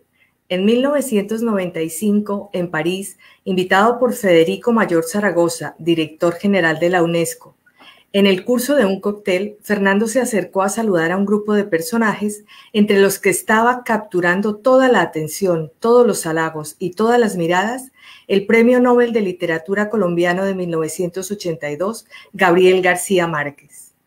Paneso lo había visto en muchas oportunidades, una de ellas en la hacienda Grande, donde el expresidente César Gaviria Trujillo convidaba mucho al señor de Macondo. También en la cuarta cumbre iberoamericana de jefes de Estado y de Gobierno. Justamente allí se entregaron a todos los mandatarios una escultura de Edgar Negret y un libro firmado por Gabo. Eran 23 libros, uno para cada gobernante. Paneso llevó 24. Gabo se quedó mirándolo y le preguntó, ¿y por qué 24? Con la agilidad mental que lo caracterizaba, el premio Nobel rápidamente agregó, tranquilo, que yo le firmo uno. En la capital de Francia, entonces se saludaron con parsimonia y cortesía. Después de cambiar opiniones, Paneso dijo, Maestro, ¿por qué no nos reunimos? Atrevida propuesta para quien era en ese momento una figura cimera. Sin embargo, García Márquez contestó espontáneo, almorcemos mañana. Se trataba sin duda de una invitación inesperada, atractiva e intimidante. Al otro día, llegada la hora, Paneso empezó a pensarlo a darle vueltas, a analizarlo, y de pronto juzgó que la propuesta del Nobel no había sido más que un formalismo, una frase cualquiera sin asidero en la realidad, una de esas cosas que se dicen por una cortesía circunstancial. Consideró que si llamaba a García Márquez quedaría como un lagarto más y eso no podía permitírselo. No se comunicó con el gran escritor y más bien se fue a pasear por los campos elíseos. Un mes después, en Santiago, Santiago de Cuba, Patricia, que había sido invitada a un festival del bolero por su tío Antonio Yepes Parra, que fungía como embajador de Colombia en la isla, vio a García Márquez y decidió saludarlo. Este, al saber quién era, le dijo algo que ruborizaría a cualquiera. ¿Paneso? Ese es un sinvergüenza. Me dejó metido en París y ni siquiera se excusó.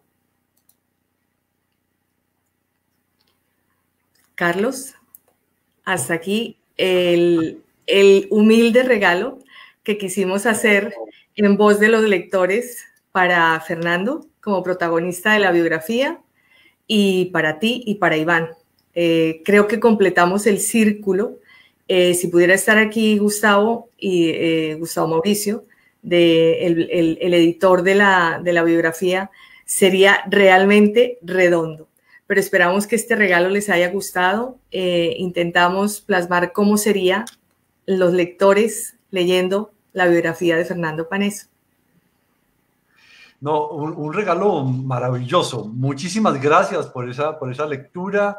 Eh, muy interesante que nos va dejando, como pueden ver las personas que nos ven y escuchan, un panorama del libro muy amplio y, con esos diferentes momentos de la vida de Fernando. Yo creo que no hay, digamos, otro camino en este momento que darle la palabra precisamente a él, a Fernando, con una pregunta. Bueno, Fernando, ¿cómo recibes tú estas lecturas, esta presencia y esto que ha pasado hasta ahora en este encuentro? Pues no hay, no tengo sino como Isabel, emoción, gratitud, pues que uno sea protagonista de un libro es algo, tú me dijiste, lo marca uno y para mí ha sido muy emocionante y esta noche ha sido sencillamente genial para mí, histórica. Veo también que nos sigue mucha gente inquieta y veo una pregunta de Laura Medina que dice, me muero por recordar el, nombre del libro que, que le regalaron a Patricia. Se llama de parte de la princesa muerta de Kenise Murat. Es un libro que enamora de Turquía. Entre otras, voy rápidamente dos anécdotas sobre Turquía. Turquía es un país mágico y Turquía es un destino turístico. Cuando termine esta pandemia les recomiendo ir.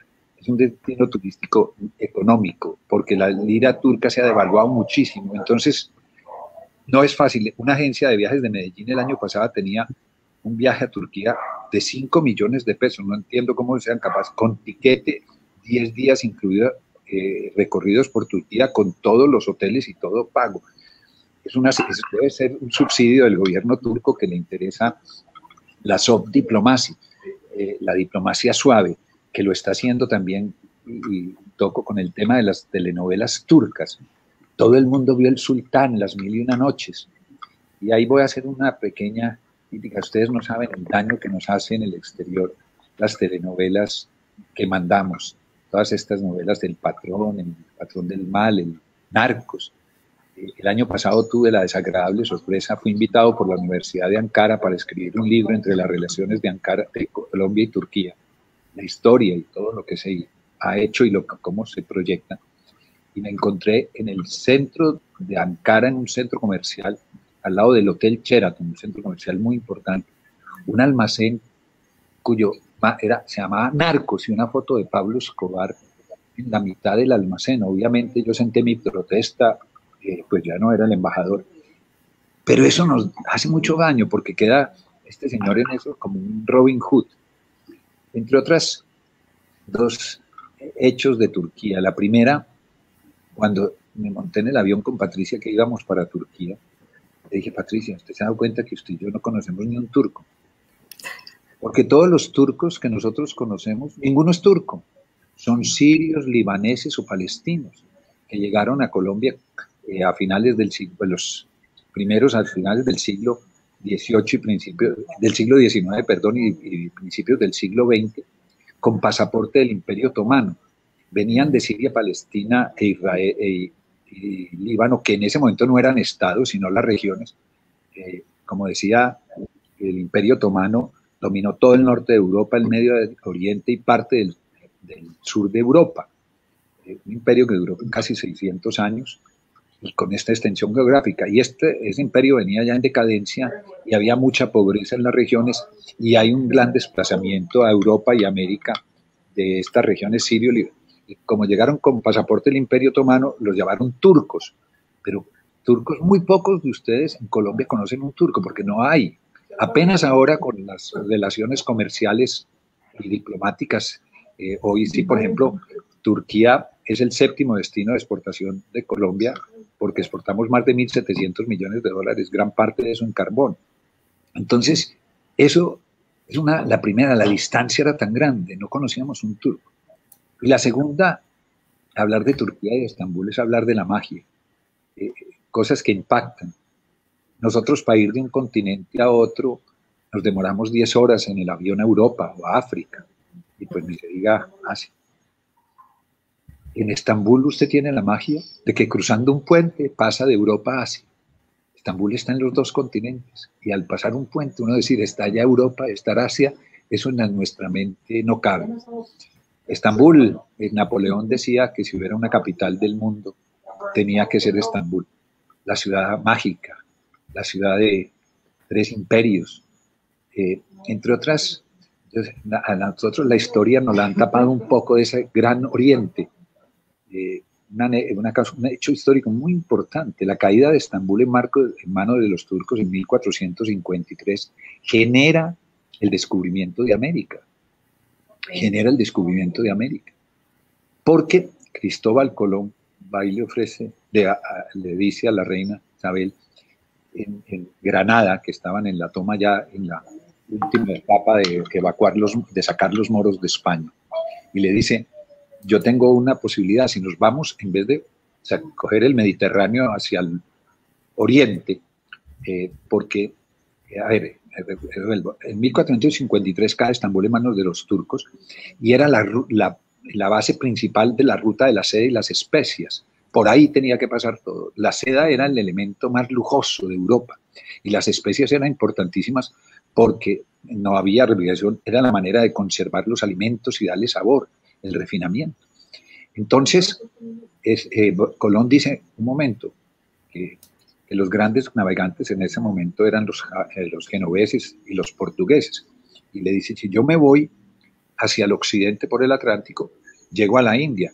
Y es cuando se encuentra América, que pensó que había llegado a la India. Y los genoveses, los portugueses, se van bordeando la costa occidental de África.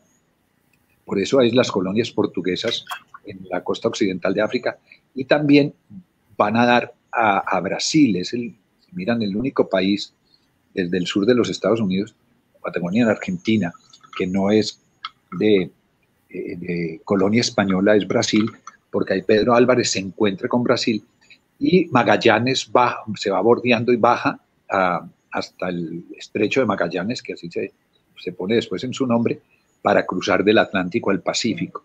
Entonces, la caída de Estambul, de Constantinopla, como se llamaba en ese momento, Constantinopla en manos de los turques genera el descubrimiento de América. Es una, la historia del mundo está allí.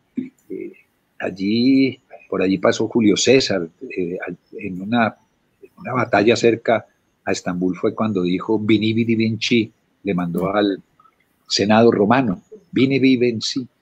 Eh, Marco Antonio, todo la historia de, este, de este país es mágico. Eh, la vida me dio el regalo de ser el primer embajador en Turquía, que es un país distinto, es estar allí, estar en Estambul, en la Capadocia, en Éfeso. La, historia de la iglesia, pues esto no es el, digo, nace en esa región, los primeros concilios, el de Nicea, eh, los concilios eh, en Bizancio, allí la palabra discusión bizantina que es, injusta. Eh, en Éfeso, la Virgen, la casa donde habita los últimos años, la Virgen María está cerca de Éfeso. Allí la llevó San Juan y allí fue San Pablo a visitarlo, San Pablo de Tarso, y escribió la carta a los Efesios y a los Corintios, las epístolas preciosas. Emociona eso. Eh, yo me extendí un poco, pero es contar toda esta anécdota de, la vida y de, Turquía que lo tocaron y leyeron varias cosas de esa experiencia mágica de vivir allá. Eh, no sé, Carlos Gustavo y amigos. Bueno, Fernando, no, mira, muy interesante y, podemos seguir, porque además tú eres una cajita de anécdotas. Eh, quisiera antes de, darle el, el, paso a María Isabel, no sé si podamos tomar un minuto a Iván ¿Es posible? Eh, ¿Me lo permiten? Está Iván, que quisiera preguntarle una cosa relacionada con el libro, eh, porque algo de lo que a nosotros nos pasó en este año, en el que ha transcurrido la circulación del libro, su buena venta, lo cual me parece muy bien para el interés y el apoyo que nos dio Gustavo Mauricio, pues en este año cada día Fernando eso lo llama a uno a decirle, oye, ¿sabes qué se me olvidó decirles? ¿Sí? Entonces, más o menos llevamos 365 anécdotas, ¿sí? Y por eso quería preguntarle a Iván, pero pues se lo pregunto a Fernando mientras aparece Iván. ¿Cómo, cómo piensa él eso? ¿Cómo, cómo, ¿Qué se le quedó? Se le quedaron muchas cosas, ¿no, Fernando? Sí, se quedaron muchas porque, a ver, la vida ha sido muy generosa conmigo y grata tengo una buena memoria. Y, como les digo, las anécdotas que leyeron, como me decía un amigo, quiero que me invites a almorzar y me dejes metido para decir que me dejaste metido como al Nobel. mucha gente almorzó con García Márquez, pero yo creo que muy pocos lo dejaron metido.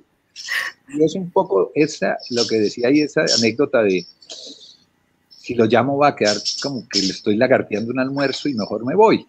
Pero él lo había dicho en serio. Entonces uno, a veces, pasar esos personajes tan importantes, pues, sabe, ¿no? Anécdotas hay muchas. La vida, si uno toma la vida alegre, la vida le va generando también cosas positivas. Eh, muchas quedaron y entre otras hay gente que me dice, ¿por qué no sacan otro libro con más anécdotas? Hay, hay muchos. Eh, eh, no, no.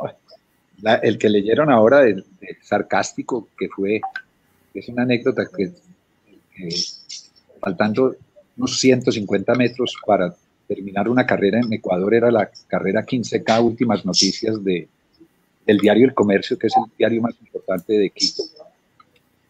Yo, era es una carrera muy dura porque tiene una subida al panecillo que llaman rompecorazones y me lo rompió y faltando 150 metros me sentí que me había dado otra vez un infarto, ya era el segundo. Y yo vi la meta y dije, no, yo no puedo perder este esfuerzo.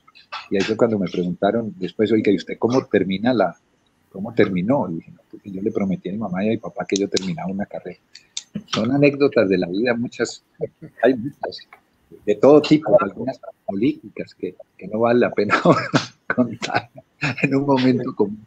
Hay una cosa que me, me, llama la atención antes de darle la palabra a María Isabel y, me gustaría que ella con el conocimiento de, de, de, cómo se maneja esta tertulia de Leonora le diera la, la, palabra a quienes nos quieren hacer preguntas y a quienes quieran eh, eh, eh, saber cosas de Fernando, que va a contestar, no hay problema, no se preocupen. lo, que, lo que me gustaría, Fernando, y yo lo he preguntado varias veces, eh, porque es algo que, te llega muy, muy al corazón, a ese, a ese nuevo corazón eh, que, tienes hoy. Eh, y es acerca de tu mamá, Fernando. Siempre, porque además yo acabo de escribir una columna sobre los ferrocarriles que a ti te, te, causó mucha emoción y me gustaría mucho que nos hablaras de tu mamá y de su relación con los ferrocarriles y con su papá, es decir, tu abuelo. A ver, eh, la historia es muy corta, pues eh, mi abuelo se, llama, se llamaba, el, abuelo materno, Eleuterio Serna Gómez, y fue uno de los ingenieros jefe que llevó el ferrocarril de Caldas a Manizales. O sea, eh, en ese tiempo pues eran campamentos y sus hijos fueron naciendo en cada campamento. Mi mamá nació en Santa Rosa de Cabal porque ahí estuvo un tiempo haciendo pues la, la, estación base de, los, de construcción del ferrocarril cada hijo iba naciendo en un pueblo, un pueblo distinto. Ya los últimos dos creo que nacieron en Manizales. Y ese Leuterio Serna Gómez fue una figura muy trascendente en la familia. Y era un hombre adusto, elegante, eh, y era el, como el jefe de la familia, todo giraba alrededor de él. Los esposos de las hijas, o sea, los yernos, no se atrevían a fumar delante de él, ya personas bastante mayores. El respeto era muy grande. Y me marcó porque yo lo volví mi ídolo en el sentido de disciplina y él era ingeniero de la Escuela de Minas de Medellín. Yo terminé de bachillerato en San Bartolomé, en Bogotá, pero tenía muy claro que yo cuando terminara bachillerato me iba a estudiar a la Escuela de Minas o Facultad de Minas. Eh, entre otras, la vida es muy simpática, curiosa. Eh, el abuelo de Patricia, el abuelo paterno es F. Gómez, el gran escritor antioqueño. Un tío abuelo de Patricia escribió Antioqueñita Miguel Agudelo. Y. Gómez también era ingeniero de la Escuela de Minas. Y en un libro que sacaron de la Escuela de Minas, casualmente están unas fotos de, uno frente a la del otro. Y mi madre era igual de a, a, mi abuelo, disciplinada a morir, estricta, la matrona antioqueña. Cuando miró a mi abuelo, ella tomó el liderazgo de la familia y todo giraba alrededor de ella, de sus hermanos y todo. Y era de una estructura, por ejemplo, en el manejo del dinero, anécdotas. Si yo le decía, mamá, regáleme 10 pesos, 10 pesos. Yo si yo llegaba a decirle, mamá, présteme 10 pesos, después vea, usted me dé 10 pesos. El uso del lenguaje era muy importante, o sea, era, depende de cómo usted ponía. Y eso me marcó su disciplina y, su cosa. Y eh, lo de tener tantos amigos, sí, se lo aprendí a mi padre. Mi padre es la persona más democrática, el dinero no le importaba para nada, era empleado y le entregaba el sueldo a mi mamá y le pedía 20 pesos o lo que fuera en ese momento para ir a fútbol porque le encantaba el fútbol. Entre otras, yo tengo anécdotas muy curiosas. Yo fui periodista deportivo cuatro años. Yo trabajé en Caracol Radio. Trabajé en el tiempo, amigos, mi jefe era Weimar Muñoz y yo soy al mismo tiempo contemporáneo y gran amigo de Iván Mejía Álvarez, de, eh, de, eh, ay hombre, de Javier Hernández Bonet, de Pachandrade, todos son compañeros míos de, y grandes amigos. Cuatro años trabajé en Caracol Radio en deportes. Yo he hecho de todo en la vida. Ah, hay que gozarla y vivirla intensamente. María Isabel. Me parece además muy importante. Íbamos a hablar otra cosa de, de, tu papá, pero vamos a dejarla para, para, otro momento. Me gustaría, María Isabel, que, que, nos cuentes tú cómo van las cosas y cómo va este programa tan rico que estamos pasando. Pues éxito total. Y por ahí ya me hicieron una pregunta de si se prepara una segunda biografía que se podría llamar anecdotario. Ahí lo dejo caer porque ya lo dijeron. También nos preguntaron qué es de Sultana y de Kenji Tamura. ¿Qué pasó con ellos, Fernando? A ver, eh, Sultana está con nosotros en Bogotá, es la reina de la casa, es una gata bellísima, es una gata de Angora. Como decía, Ankara antes se llamaba Angora, y los gatos de Angora son de allá, y es el símbolo de la ciudad. Uno va a ver y es un gato eh, de Angora preciosa, es una gata blanca, grande, de cola. Y ella dijo, pero desafortunadamente Kenji Tamura sí murió en Ecuador, ya en la casa de la embajada, en el jardín está enterrado y se le hizo un, pues, arreglo floral. La casa de la embajada en Quito es una belleza, es, con la embajada de los Estados Unidos la embajada de España y la de Colombia son las tres casas más lindas que hay en Quito. Es una casa que la compró el gobierno colombiano en 1953 y es una casa de media manzana, tiene un jardín precioso y la mantienen muy bien. Es una casa, pues, patrimonio arquitectónico de la ciudad. Y, es muy linda. Y allí en, en, una parte del jardín está Don Kenji Tamura. Eh, anecdotal. Eh, a ver, sí, No, no, por favor, te interrumpí, discúlpame. No, no, no.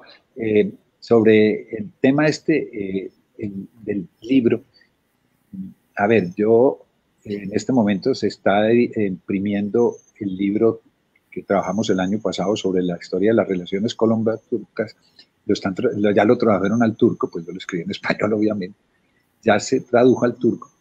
Y estoy cuando la Universidad de Ankara lo publique, voy a pedirle permiso si me lo deja publicar en Colombia, solo la parte en español, obviamente, y, y meterle un poquito de historia, de anécdotas que se nos hayan quedado, porque son simpáticas y, a la gente le gustaron. Eso es lo que quería decir. Em, si me lo permiten mis compañeros y Jaime Santos, nuestro invitado especial hoy también, eh, voy a hacer una pregunta. Em, usted, eh, Carlos, tú decías que eh, fue casi un viaje gastronómico escribir la, todo el periplo de escribir la biografía. Y esto, pues, tanto para Fernando como para Carlos Gustavo, me gustaría saber cómo fue eso de escoger qué se iba a meter el libro y qué se desechaba. Porque habiendo tantas anécdotas y tantas vivencias tan, tan intensas, tiene que ser muy difícil recoger en una biografía toda la vida de un hombre o al menos la más significativa. ¿Cómo decidieron ustedes qué dejamos fuera, qué incluimos? Bueno, eh, el libro lo escribimos eh, eh, como, como lo hemos planteado acá entre Iván y yo. Incluso Iván escribió algunos capítulos y yo escribí otros, pero el editor final del texto fui yo. Yo fui el quien hice toda la, la edición final ahí pasaban muchas cosas y es que yo decía en un momento no, esta parte no la pongamos porque eh, por X razón. Y entonces venía ya la discusión en, el siguiente encuentro gastronómico de por qué sí debíamos ponerla. Porque Fernando era entrañable para Fernando, era importante, porque incluso Iván había encontrado en ese espacio del texto una identidad, un, apego bonito. Entonces, así fue que lo hicimos. Pero, de todas maneras, eh, también había, había nostalgia por lo que se iba, porque mm, todo está dinamizado por esa gran memoria que tiene Fernando y porque además él ata la memoria con el corazón y entonces a, los sucesos que va recordando les va otorgando un espíritu de compañía para toda la vida y en esa medida es difícil desprenderse de ellos. Por eso es tan importante lo que él acaba de plantear, bien sea en ese libro o en, otro libro, que podamos hacer un resumen de las otras anécdotas que han quedado, que quedaron por fuera y que se le han venido ocurriendo a él en los últimos tiempos. Fernando, esa, ¿esas anécdotas están aquí o tú las has escrito en alguna especie de diario? No, Porque la memoria es impresionante. No, estaban aquí y ellos me ayudaron a vaciarlas, eh, pero ya después me puse a, ya sí tengo anotado, no, con del título me acuerdo, tengo una libreta para las que se han quedado, etcétera. Yo ahí ya, a ver, parte de, de escribir este libro tuvo varios sentidos, y uno es que a la gente no se le olvide la época tan complicada que vivimos. O sea, yo creo que era necesario recordarla. Y yo sé que estamos en un ambiente más relajado, pero hay una anécdota que uno dice, esto no puede vivir, no se puede vivir. Es muy cortica y es, y es fue con lo, que, con lo que me enfrenté en la gobernación de Antioquia y cómo gente tan valiosa que había se perdió por el narcotráfico. Y yo digo, pero no, era necesario, había gente que lo tenía todo, eh, dinero, una buena reputación social, profesionalmente valiosos. Y la voy a leer, muy, es muy corta y dice así, mensaje del patrón. Una buena tarde, de aquellas en la que la vida parece transcurrir sin mayor novedad, comenzando su gobernación, Panizo recibió en su despacho la visita del muy conocido y por demás controversial abogado Guido Parra Montoya. Había sido diputado a la Asamblea de Antioquia, pero todo Medellín sabía que pese a estar considerado un juicioso sabedor de leyes, hacía tiempo tenía tratos con el patrón Pablo Escobar Gaviria. Yo debía parecerle un joven inexperto y muy fácil de manipular, asevera, asevera Paneso ahora. Apenas el muchachito conocido por él unos años atrás en planeación departamental. Parra Montoya se arrellanó en, un asiento, se arrellanó en un asiento y con palabras firmes y redondas soltó una frase terrible. El jefe le manda a decir que lo que necesite, él se pone a sus órdenes y a su disposición.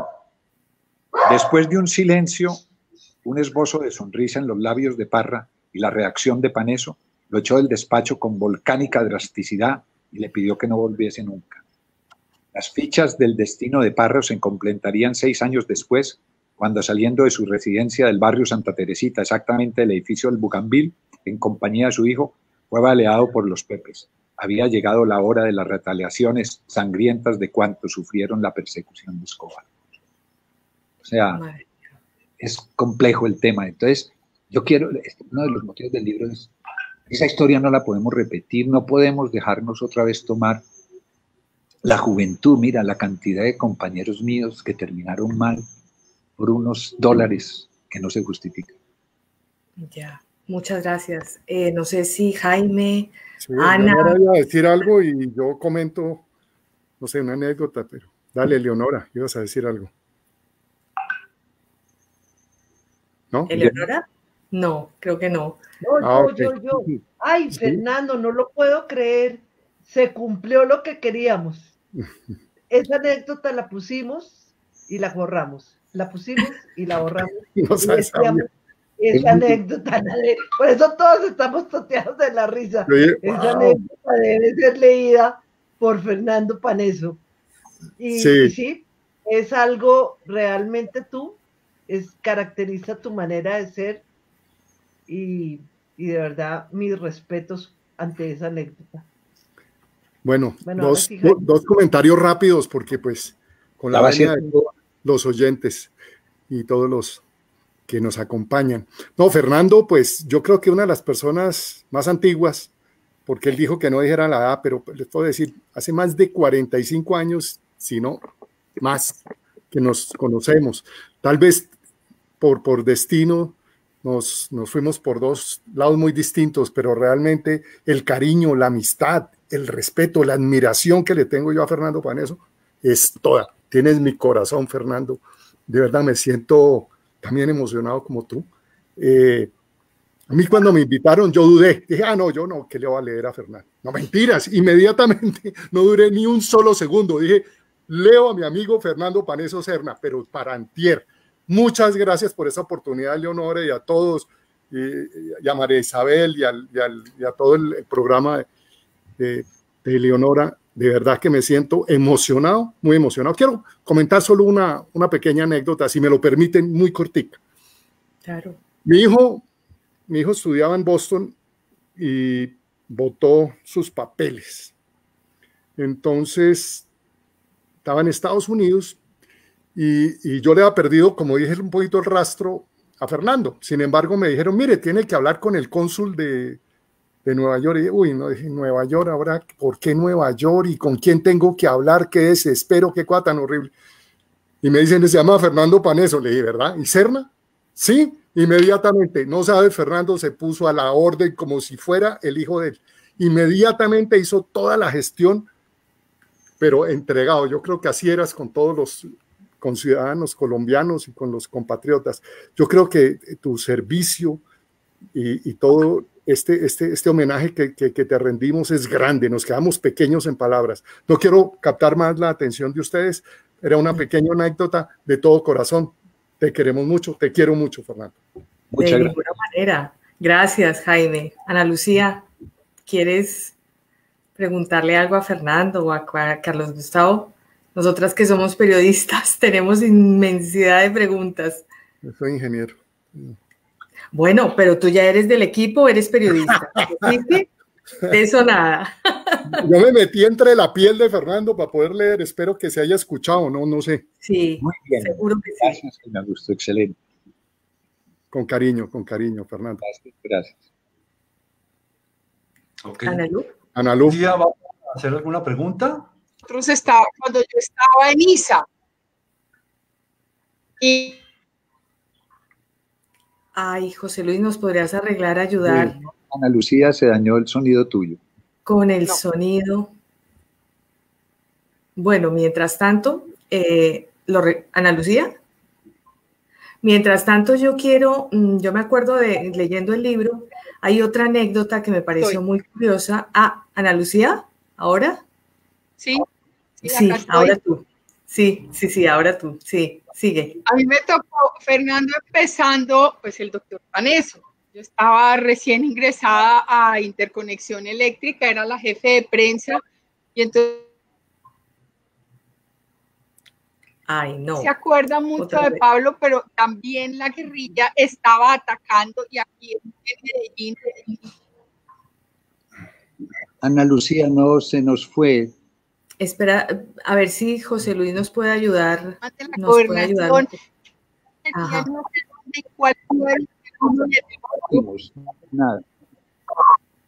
Esa parte me tocó con el doctor Panés y cada rato estaba Ana Lucía, intenta ver apagar el micrófono y volverlo a encender. Eso, a ver. Em, yo no tuve las vivencias tan cercanas que tuvo Jaime ni, ni Ana Lucía, pues porque nos conocemos personalmente muy, muy recientemente.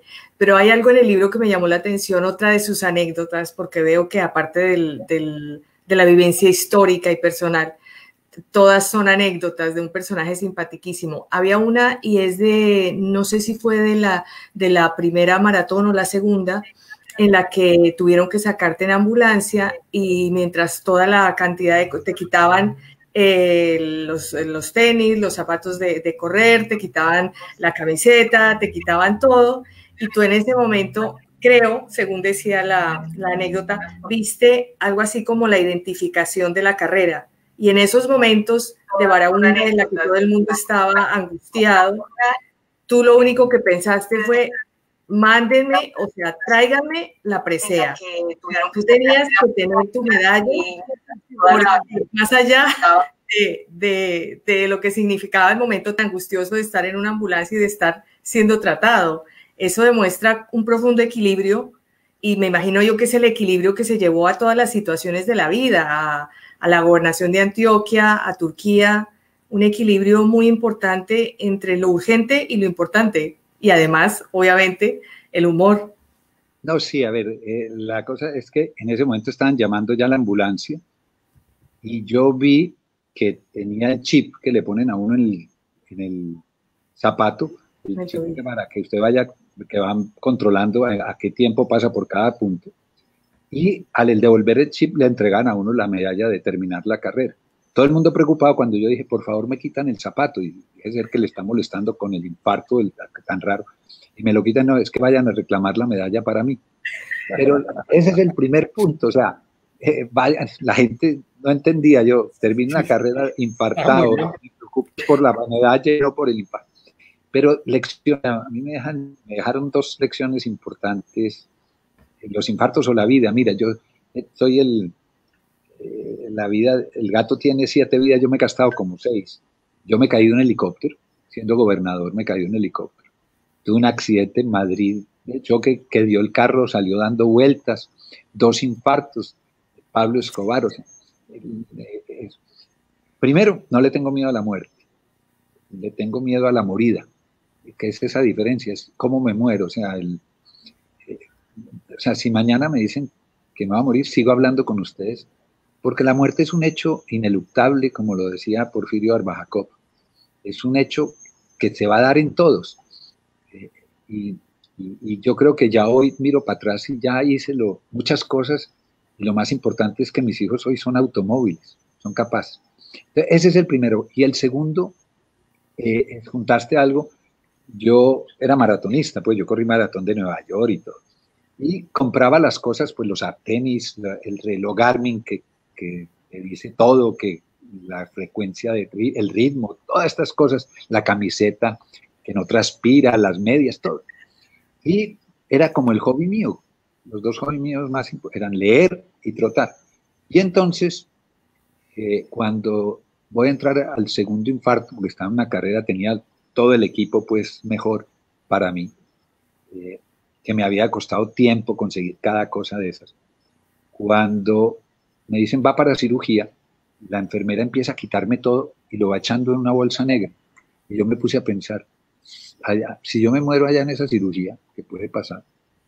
Esa bolsa, todo ese esfuerzo que me costó conseguir cada cosa, lo van y lo botan y nadie le importa. Entonces aprende uno que nada de lo material vale la pena. O sea, el apego a esas cosas no tiene sentido.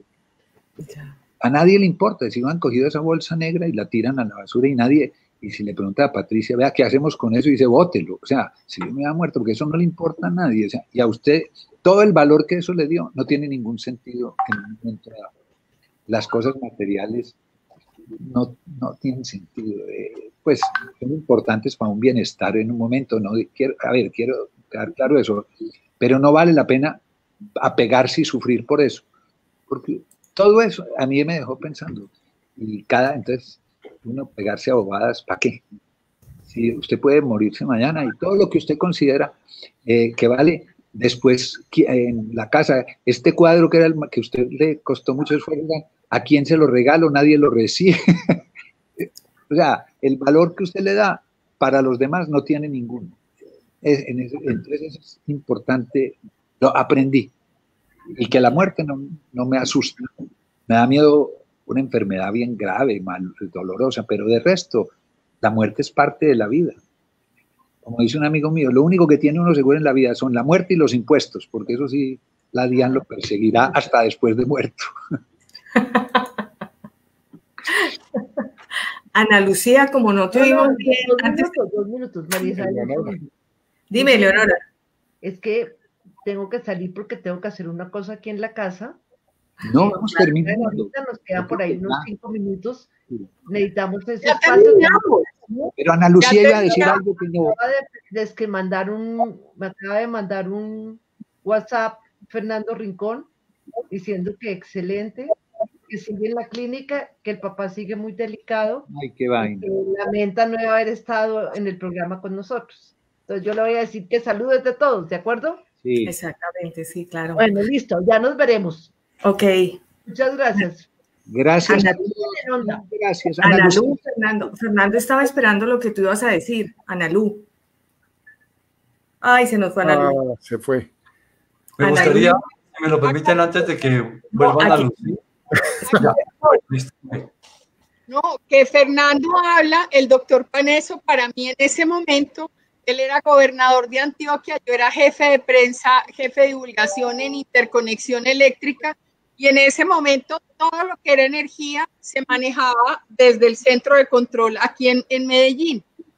Y permanentemente se iba, había una línea muy importante que salía desde, desde, desde aquí de Antioquia para la costa. Cada rato la guerrilla la bombardeaba, pero nosotros teníamos una teoría y era, no digamos mucho para que no les demos mucha visibilidad, que obtuvieron el, el, el, pues que lograron su, su cometido y cada rato llamaban de la gobernación el doctor Paneso pregunta que la energía que se fue, que es la costa que están diciendo que Antioquia, por favor, dígale al doctor Paneso que no vamos a contarlo por tal y tal razón. Y él sufría porque todo el mundo lo llamaba a él a preguntarle por qué la energía se le iba y éramos nosotros en el centro de control sufriendo para avisarle a la gobernación. Eso me acuerda mucho del trabajo con él. Qué bueno. Carlos Gustavo. Ah, Muchas gracias.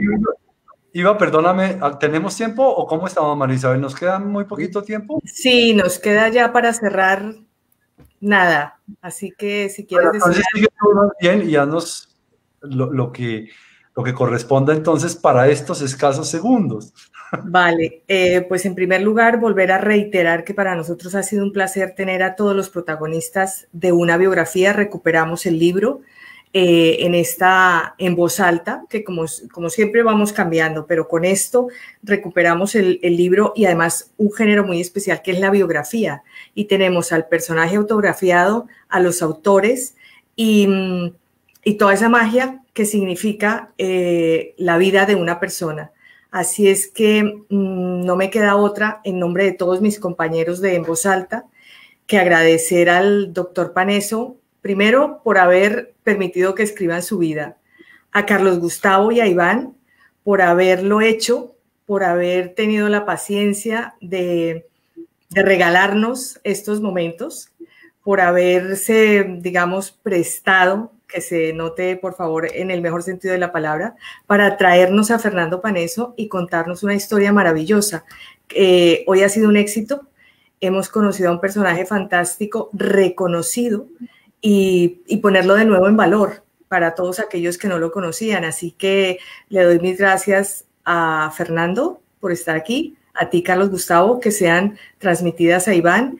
Y pues Gustavo Mauricio, el editor, no pudo estar aquí, pero, pero en icono editorial seguramente eh, estará él mirándonos y obviamente es allí donde, donde se puede degustar esta, esta obra.